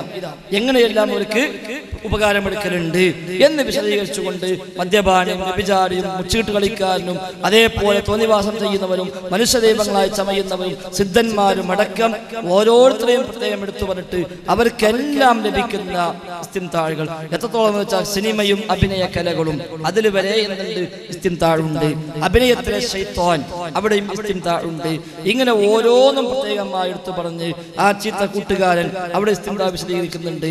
ഇങ്ങനെ ഓരോന്നും എടുത്തു പറഞ്ഞിട്ട് അവിടെ എല്ലാം ഈ ആയത്ത് തന്നെ എടുത്തു വെച്ചിട്ടാണ് ഡോക്ടർ ഉസ്മാൻ സാഹിബ് വിശദീകരിച്ചത്. അമാനി മൗലവി ഇസ്ലാമിക ജീവിതം എന്ന പുസ്തകത്തിലെ അവസാന അധ്യായത്തിൽ വിവിധ വിഷയങ്ങൾ എന്ന ഭാഗം പറയുമ്പോൾ സിഹർ കണ്ടെടുപ്പുള്ള വിഷയം പറയുമ്പോൾ അവിടെ പറഞ്ഞു ഒരു പിശാചിനെ പ്രത്യേകം പൂജിക്കുകയും സേവിക്കുകയും ചെയ്താൽ അവന് സഹായം കിട്ടുന്നു. അതില്ലെങ്കിൽ പോലും അവിടെ എന്ത് ചെയ്യുന്നു? ആ സഹായങ്ങൾ ഉണ്ടാകുന്നു എന്ന് പറഞ്ഞു. അത് ക്ലിയറാണ് മാത്രവുമല്ല ദൗറയിൽ ഞങ്ങൾ കൊടുത്ത ഈ പ്രബന്ധം. ഈ പ്രബന്ധത്തിൽ പോലും നമ്മൾ എടുത്തു കൊടുത്തത് എന്താണ് ഇൻസി ജിന്നും അങ്ങോട്ടും ഇങ്ങോട്ടും എല്ലാമുള്ള മുഹറമുൻ ഹറാമാക്കപ്പെട്ടതാണ്. കിതാബിന്റെയും സുന്നത്തിന്റെയും നെസ്സുകളിൽ അത് ഹറാമാണെന്ന് പഠിപ്പിച്ചിട്ടുണ്ട് എന്ന് പറഞ്ഞിട്ടാണ് ഇത് കൊടുത്തു തന്നെ. അവിടെയും ഈ ആയത്തും ആ സമാനമായ വിശദീകരണവും പ്രത്യേകം അവിടെ സൂചിപ്പിക്കുകയും ചെയ്തു. അപ്പൊ ഈ ആയത്തിൽ ഇസ്തിംതാ ചെയ്ത് കഴിഞ്ഞാൽ ഈ ആയത്തിൽ പറഞ്ഞ ശിക്ഷ ശാശ്വതമായ നരകശിക്ഷ എന്നാണ് ഇപ്പൊ കേവലം കള്ളുകുടി പോലത്തെ ഒരു ഹറാമ് ചെയ്ത ആൾ ശരിക്കല്ലാത്ത കുഫറല്ലാത്ത ഒരു ഹറാമ് ചെയ്ത ആൾ അള്ളാഹു ശാശ്വതമായി നരകത്തിലിടും. അവിടെ നിങ്ങളുടെ വാസസ്ഥലം നരകമാണ്. ഖാലിദിന അതിൽ ശാശ്വതരാണ്. ശേഷം ഇല്ലാ മാഷ അള്ളാഹു ഉദ്ദേശിച്ചത് ഒഴികെ. എന്നൊരു പ്രയോഗം അള്ളാഹു തന്നെ പ്രത്യേകം പറഞ്ഞിട്ടുണ്ട്. അപ്പൊ ഖാലിദാകുന്നവരുണ്ട്. ഖാലിദാകാത്തവരുണ്ട് എന്ന് ആയത്തിൽ നിന്ന് തന്നെ കിട്ടി. അവിടെ ഏറ്റവും മുഖ്യം തൊണ്ണൂറ്റൊമ്പത് ശതമാനം ഖാലിദാകുന്ന സംഗതി അവിടെ പറഞ്ഞത്. കാരണം എന്നാണ് അള്ള പ്രയോഗിച്ചത്. ജിന്നുകളെ ഔലിയാക്കളായി സ്വീകരിച്ച ഇൻസുകൾ അവരെ കുറിച്ചാണ് പ്രഥമ സംബോധനം. അതുകൊണ്ട് അതെല്ലാം ശുൽക്കുമായി ബന്ധപ്പെട്ട ഭാഗമാണ്. അത് നരകത്തെ ശാശ്വതമാക്കുന്നതുമാണ്. ഇനി അതിൽ നിന്ന് ഒഴിവാക്കാൻ വകുപ്പുള്ള വല്ലവരുമോ വല്ല സംഗതി ഉണ്ടെങ്കിൽ അത് പ്രത്യേകം ഒഴിവാക്കി. ഇല്ല മാഷ അല്ലാ അപ്പൊ തന്നെ രണ്ടുമുണ്ട് എന്ന് നമുക്ക് അവിടുന്ന് മനസ്സിലായി. ഈ അള്ളാഹു ഉദ്ദേശകാലം എന്ന് പറഞ്ഞല്ലോ. അള്ളാഹു ഉദ്ദേശിച്ച കാലത്താണ് അവർ നരകത്തിൽ കിടക്കാന്നുള്ള നരകത്തിൽ കിടക്കാന്നുള്ളതിന് അമാനുപോലെ എഴുതുന്നത്. വിചാരണ കഴിഞ്ഞിട്ട് ഇപ്പൊ പരലോകത്തെ നമ്മൾ വിചാരണ കഴി വിചാരണ കഴിഞ്ഞിട്ട് അഥവാ നരകത്തിലേക്ക് പോകുന്ന സമയം ആ സമയം. എന്നിട്ട് ഇത്തരം ഇപ്പൊ മൗലവി പറഞ്ഞ പോലുള്ള വിശദീകരണത്തെ അമാനുവൽ അത് ചില ആളുകളുടെ അഭിപ്രായം അതിനെ ഖണ്ഡിക്കുന്ന രീതിയിൽ അതിൽ എഴുതുന്നുണ്ട്. അതെ, പിന്നെ അതല്ല ഇവിടെ അള്ളാഹു പൊതുവായിട്ട് പറയണം ഈ ഇസ്തിംതാ എടുക്കുന്ന ആൾക്കാര് ശാശ്വതമായിട്ട് നരകത്തിലാണെന്ന് പറയുന്നത്. ശാശ്വതമായ നരകശാണ് അവർക്കുള്ളത്. അപ്പൊ ഇത്രയും കേവലം ഒരു ഹറാമ ചെയ്ത ആളെങ്ങനെയാണ് അത് ശാശ്വതമായിട്ട് ഇല്ല കേവലം ഹറാമ ചെയ്ത ആൾ അതുകൊണ്ട് ഞാൻ പറഞ്ഞത് ഈ ആയത്തിൽ പറഞ്ഞ തൊണ്ണൂറ്റൊമ്പത് ശതമാനം എന്താണ്? ജിന്നുകളെ ഔലിയാക്കളാക്കിയ ഇൻസിനെ പറ്റിയാണ്. അതാണ് എല്ലാരും ഒരുമിച്ച് കൂട്ടുന്ന ദിവസം ഇൻസിനോടും ജിന്നോടുമുള്ള ചോദ്യമുണ്ട് വിചാരണയുണ്ട്. ആ സമയത്താണ് ജിന്നുകളുടെ ഔലിയാക്കളായ ഇൻസുകൾ പറയുന്നു. എന്ന് പറഞ്ഞിട്ട് അല്ല ആരംഭിച്ചു തന്നെ. അപ്പൊ ജിന്നുകളെ ഔലിയാക്കളായി സ്വീകരിച്ച ജിന്നുകളെ രക്ഷാധികാരികളായി സ്വീകരിച്ച ജിന്നിനെ പൂജിച്ചു കൂടിയ ജിന്നിന്റെ സേവകന്മാരായി കൂടിയ ഇൻസിനെ തന്നെയാണ് അവിടെ ഏറ്റവും പ്രധാനമായി ഉദ്ദേശിച്ചത്. അതുകൊണ്ട് അവരെ വിഷയത്തിൽ എന്ത് തന്നെയാണ്? ഇനി ഇല്ലാമാഷ അല്ല അവർക്കും ബാധകമാക്കിയവരുണ്ട്. ജിന്നിനെ പൂജിച്ച് സേവിച്ചു കൂടിയ ആളുകൾ ഔലിയാക്കളായി സ്വീകരിച്ചവർ. അവരെ കുറിച്ചും അല്ല എന്ന് പിന്നെ ബാധകമാക്കിയവർ. അവിടെയാണ് എന്ത് പറഞ്ഞത്? എങ്കിൽ പിന്നെ അവർക്ക് അല്ല ഉദ്ദേശിച്ച് ഒഴികെ എന്ന് പറഞ്ഞത് എന്തുകൊണ്ട്? അവിടെയാണ് വിചാരണയ്ക്ക് മുമ്പുള്ള സമയം. കബറിലെ കാലഘട്ടം. ഈ കാലഘട്ടത്തിലൊക്കെ അവർക്ക് ശിക്ഷ ഉണ്ടാവില്ല ഇവർ അങ്ങോട്ടേ ഉണ്ടാവുള്ളൂ എന്ന അർത്ഥത്തിൽ വ്യാഖ്യാനിച്ചവരുണ്ട്. അതല്ല ഈ പറഞ്ഞത് എന്താണ്? ഹരിദിന ഫിഹ എന്ന് പറഞ്ഞ ഇവർക്കും അതല്ലാത്ത മറ്റു വല്ല ഇസ്തിന്താകളൊക്കെ ഉണ്ടെങ്കിൽ ഈ രൂപത്തിലും എന്ന് പറഞ്ഞ ഹറാമായി വരുന്ന കേവലം ചെറിയ ബന്ധങ്ങളോ ആ നിലയ്ക്ക് കിട്ടിയ വലിയ സ്ഥിരതകളൊക്കെ ഉണ്ടെങ്കിൽ അവർക്ക് എന്തായിരുന്നാലും ഖാലിദ് എന്ന പിന്നെ പരാമർശം അവർക്ക് ബാധകമല്ല. കാരണം വിശുദ്ധ ഖുർആൻ ഷിർക്കിനെ കുറിച്ച് മാത്രമാണ് നരകം ശാശ്വതം എന്ന് പറഞ്ഞത്. ഹദീസിൽ മറ്റു ചില തിന്മകളെ കുറിച്ച് നരകം ശാശ്വതം എന്ന് പറഞ്ഞിട്ടുണ്ട്. ഖുർആനിൽ ഇതിനെക്കുറിച്ച് മാത്രമാണ് നരകം ശാശ്വതം എന്ന് പറഞ്ഞത്. അപ്പൊ ആ രണ്ടു തരം വ്യാഖ്യാനം നൽകുന്നുണ്ട്. ഒന്ന് ഔലിയാക്കളായി സ്വീകരിച്ച ഇൻസിന് തന്നെയും ഇല്ലാ മാഷ അത് ബാധകമാക്കുകയാണെങ്കിൽ അതെന്താണ്? കബറിലെ കാലഘട്ടമോ വിചാരണയ്ക്ക് മുമ്പുള്ള കാലഘട്ടമോ ഒക്കെ ആയിരിക്കാം ഉദ്ദേശിച്ചത്.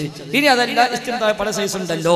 പലതരം ഇസ്തിംതാഴുണ്ട് അതിൽ തർക്കമില്ല. ഇസ്തിംതാഴ് സേവിച്ച് പൂജിച്ച് കൂടുതൽ മാത്രമല്ല ഇസ്തിംതാഴ് പ്രത്യേകം സേവിച്ചില്ലെങ്കിൽ കൂടി അവന്റെ കൈതയും ഇങ്ങോട്ട് പല ഉപകാരങ്ങളും കിട്ടുമെന്ന് അമാനമൊഴി അടക്കം രേഖപ്പെടുത്തിയിട്ടുണ്ട്. അപ്പോൾ അത്രയും കുറിച്ച് ആവാം ഇല്ല മാഷ അള്ളാഹ് പ്രയോഗിച്ചത്. അള്ളാഹു. ഈ ജിന്നിനോടുള്ള ഭൗതിക ചോദ്യം ചോദിക്കൽ കേവലം ഹറാമാണെന്ന ആയത്തിൽ കിട്ടിയെന്ന് മുസ്ലിം പറഞ്ഞു. അപ്പൊ എനിക്ക് ഈ വിശദീകരണം ഈ ആയത്തുദ്ധരിച്ച ഏതെങ്കിലും മുഫസിരിയങ്ങൾ ഇങ്ങനെ ഒരു വിശദീകരണം മുൻകാല അഖിലസുന്നത്തിന്റെ മുഫസിരിയങ്ങൾ ആരെങ്കിലും ഇങ്ങനെ വിശദീകരണം അഥവാ ശിർക്കല്ലാത്ത രീതിയിലുള്ള സഹായം ജിന്നിനോട് ചോദിച്ചാൽ അത് ഹറാമാകുന്ന ഈ ആയത്തിന്റെ വിശദീകരണത്തിൽ ഏതെങ്കിലും മുഫസിറുകൾ ആരെങ്കിലും പറഞ്ഞതിനുണ്ടെങ്കിൽ അതായത് ഇസ്തിംതാഴ് വിശദീകരിച്ച പണ്ഡിതന്മാരല്ല. ഇസ്തിംതാഴുമായി ബന്ധപ്പെട്ട് പറയുമ്പോൾ മുത്തലക്കൻ അത് ഹറാം എന്ന് പറയും. ഇസ്തിംതാഴ് എല്ലാം എന്താണ്? മുത്തലക്കൻ ഹറാമാണ്. ഈ ഇസ്തിംതാഴ് എന്താണ്? ഇബിന് ഗസീറും അതുപോലുള്ള മറ്റു മുഫസിങ്ങളൊക്കെ പറഞ്ഞു കാണാം. അവിടെ പലതരം ഇസ്തിംതാഴ് വിശദീകരിച്ചിട്ടുണ്ട്. അതേപോലെ തുടങ്ങി ഒരുപാട് ഇസ്തിംതാഴുകൾ അതായത് നമ്മൾ പറഞ്ഞ സൂത്ത് ജിന്നിലായത്തിൽ റഹക്ക് ഗർവ് വർദ്ധിപ്പിച്ചു. ജിന്നുകൾക്ക് ഗർവ് വർദ്ധിപ്പിച്ചു. അതും എന്താണ് ആണ് അവന് ഗർവുണ്ടായി. ഞാൻ വലിയ ആളാ തോന്നി. അതെന്താണ്? ആണ് ഇങ്ങനെ ഒരുപാട് ഇസ്തിംതാഴുകൾ ഉണ്ട്. എന്ന ആയത്തിലെ ഇസ്തിംതാ വിശദീകരിക്കുമ്പോൾ ഒട്ടുമിക്ക ഖുർആൻ വ്യാഖ്യാതാക്കളും പലതരം ഇസ്തിംതാഴുകളെ പരിചയപ്പെടുത്തിയിട്ടുണ്ട്. അതിൽ എങ്ങനെ കിട്ടും അവിടെയാണ് പൂജ വരുന്നത്. ശൈത്താന്റെ സഹായം ജിന്നിന്റെ സഹായം ഒരു മനുഷ്യന് കിട്ടണമെങ്കിൽ എന്ത് വേണം? ഓനെ പൂജിക്കണം ഓനെ ആരാധിക്കണം അവന്റെ പിന്നാലെ കൂടണം. അപ്പോഴാണ് അവന്റെ സഹായം ഇവരെന്ത് ചെയ്യാം? കിട്ടുക. അതുകൊണ്ട് തന്നെയാണ് അവിടെ മിക്കവാറും ഭാഗം ശിർക്കായത് എന്ന് പറയുന്നത്. കാരണം ഓന് ഒരു സഹായം ചെയ്തു കൊടുക്കണമെങ്കിലോ ഓൻ വല്ലതും പറഞ്ഞു കൊടുക്കണമെങ്കിലോ അതിനൊക്കെ എന്ത് വേണം? ഇവൻ പറയുന്ന സംഗതികൾ ഇവൻ അങ്ങോട്ട് ചെയ്യണം. അവനെ പൂജിക്കണം ശിർക്ക് ചെയ്യാൻ തയ്യാറാവണം. ഒരു പിശാച്ച് ഒരു മനുഷ്യൻ ചെന്ന് ആദ്യം ചെയ്യിക്കാൻ ശ്രമിക്കുന്നത് അയാളെ കൊണ്ട് ശിർക്ക് ചെയ്യിക്കാൻ പറ്റുമോ എന്നാണ്. കാരണം തൗഹീദാണ് അടിവേര്. ശിർക്ക് ചെയ്തു പോയാൽ ആ അടിവേര് തകർന്നു. അടിവേര് പൊട്ടി. അതോടുകൂടി ഇനി ഓന്റെ കാര്യത്തിൽ ശൈത്താന് പ്രത്യേകിച്ച് പണിയൊന്നുമില്ല. ഇനി അവൻ തൗഹീദിലേക്ക് മടങ്ങാതെ കാത്തു സൂക്ഷിച്ചാലും മതി. തൗപ ചെയ്യാതെ നോക്കിയാലും മതി. ഇനി അതല്ല അയാൾ ശിർക്കിലേക്ക് കിട്ടില്ലെങ്കിൽ അയാളെ കൊണ്ട് കുഫ്ര ചെയ്യിക്കാൻ പറ്റുമോ? അതുമില്ലെങ്കിൽ ഹറാമ ചെയ്യിക്കാൻ കഴിയുമോ? എന്നൊക്കെയാണ് പിശാച്ച് ശ്രമിക്കുക. ഹറാമ് ചെയ്യിച്ച് കുറച്ച് കാലെങ്കിലും ഓൻ നരകത്തിൽ പിന്നെ രക്ഷപ്പെട്ടു പോയാലും വേണ്ടില്ല എന്ന നിലയ്ക്ക്. ഇനി ഹറാമിനും ഓനെ കിട്ടുന്നില്ല. ഒരു രൂപ പോലും ഹറാമായി സമ്പാദിക്കുന്നില്ല. ഒരു കളവൻ പറയുന്നില്ല. ഒരു തോന്നിവാസം ചെയ്യുന്നില്ല. ഒരു ഹറാമിലേക്ക് അവൻ പോകുന്നില്ല. അവൻ മുത്തക്കയായി മാത്രം ജീവിക്കുന്നു. എങ്കിൽ അവന് നന്മകൾ മുടക്കാൻ പറ്റുമോ എന്ന് നോക്കും. സ്വതക്കുകളെ മുടക്കും. ഖുർആൻ പഠിപ്പിച്ചതാണ്.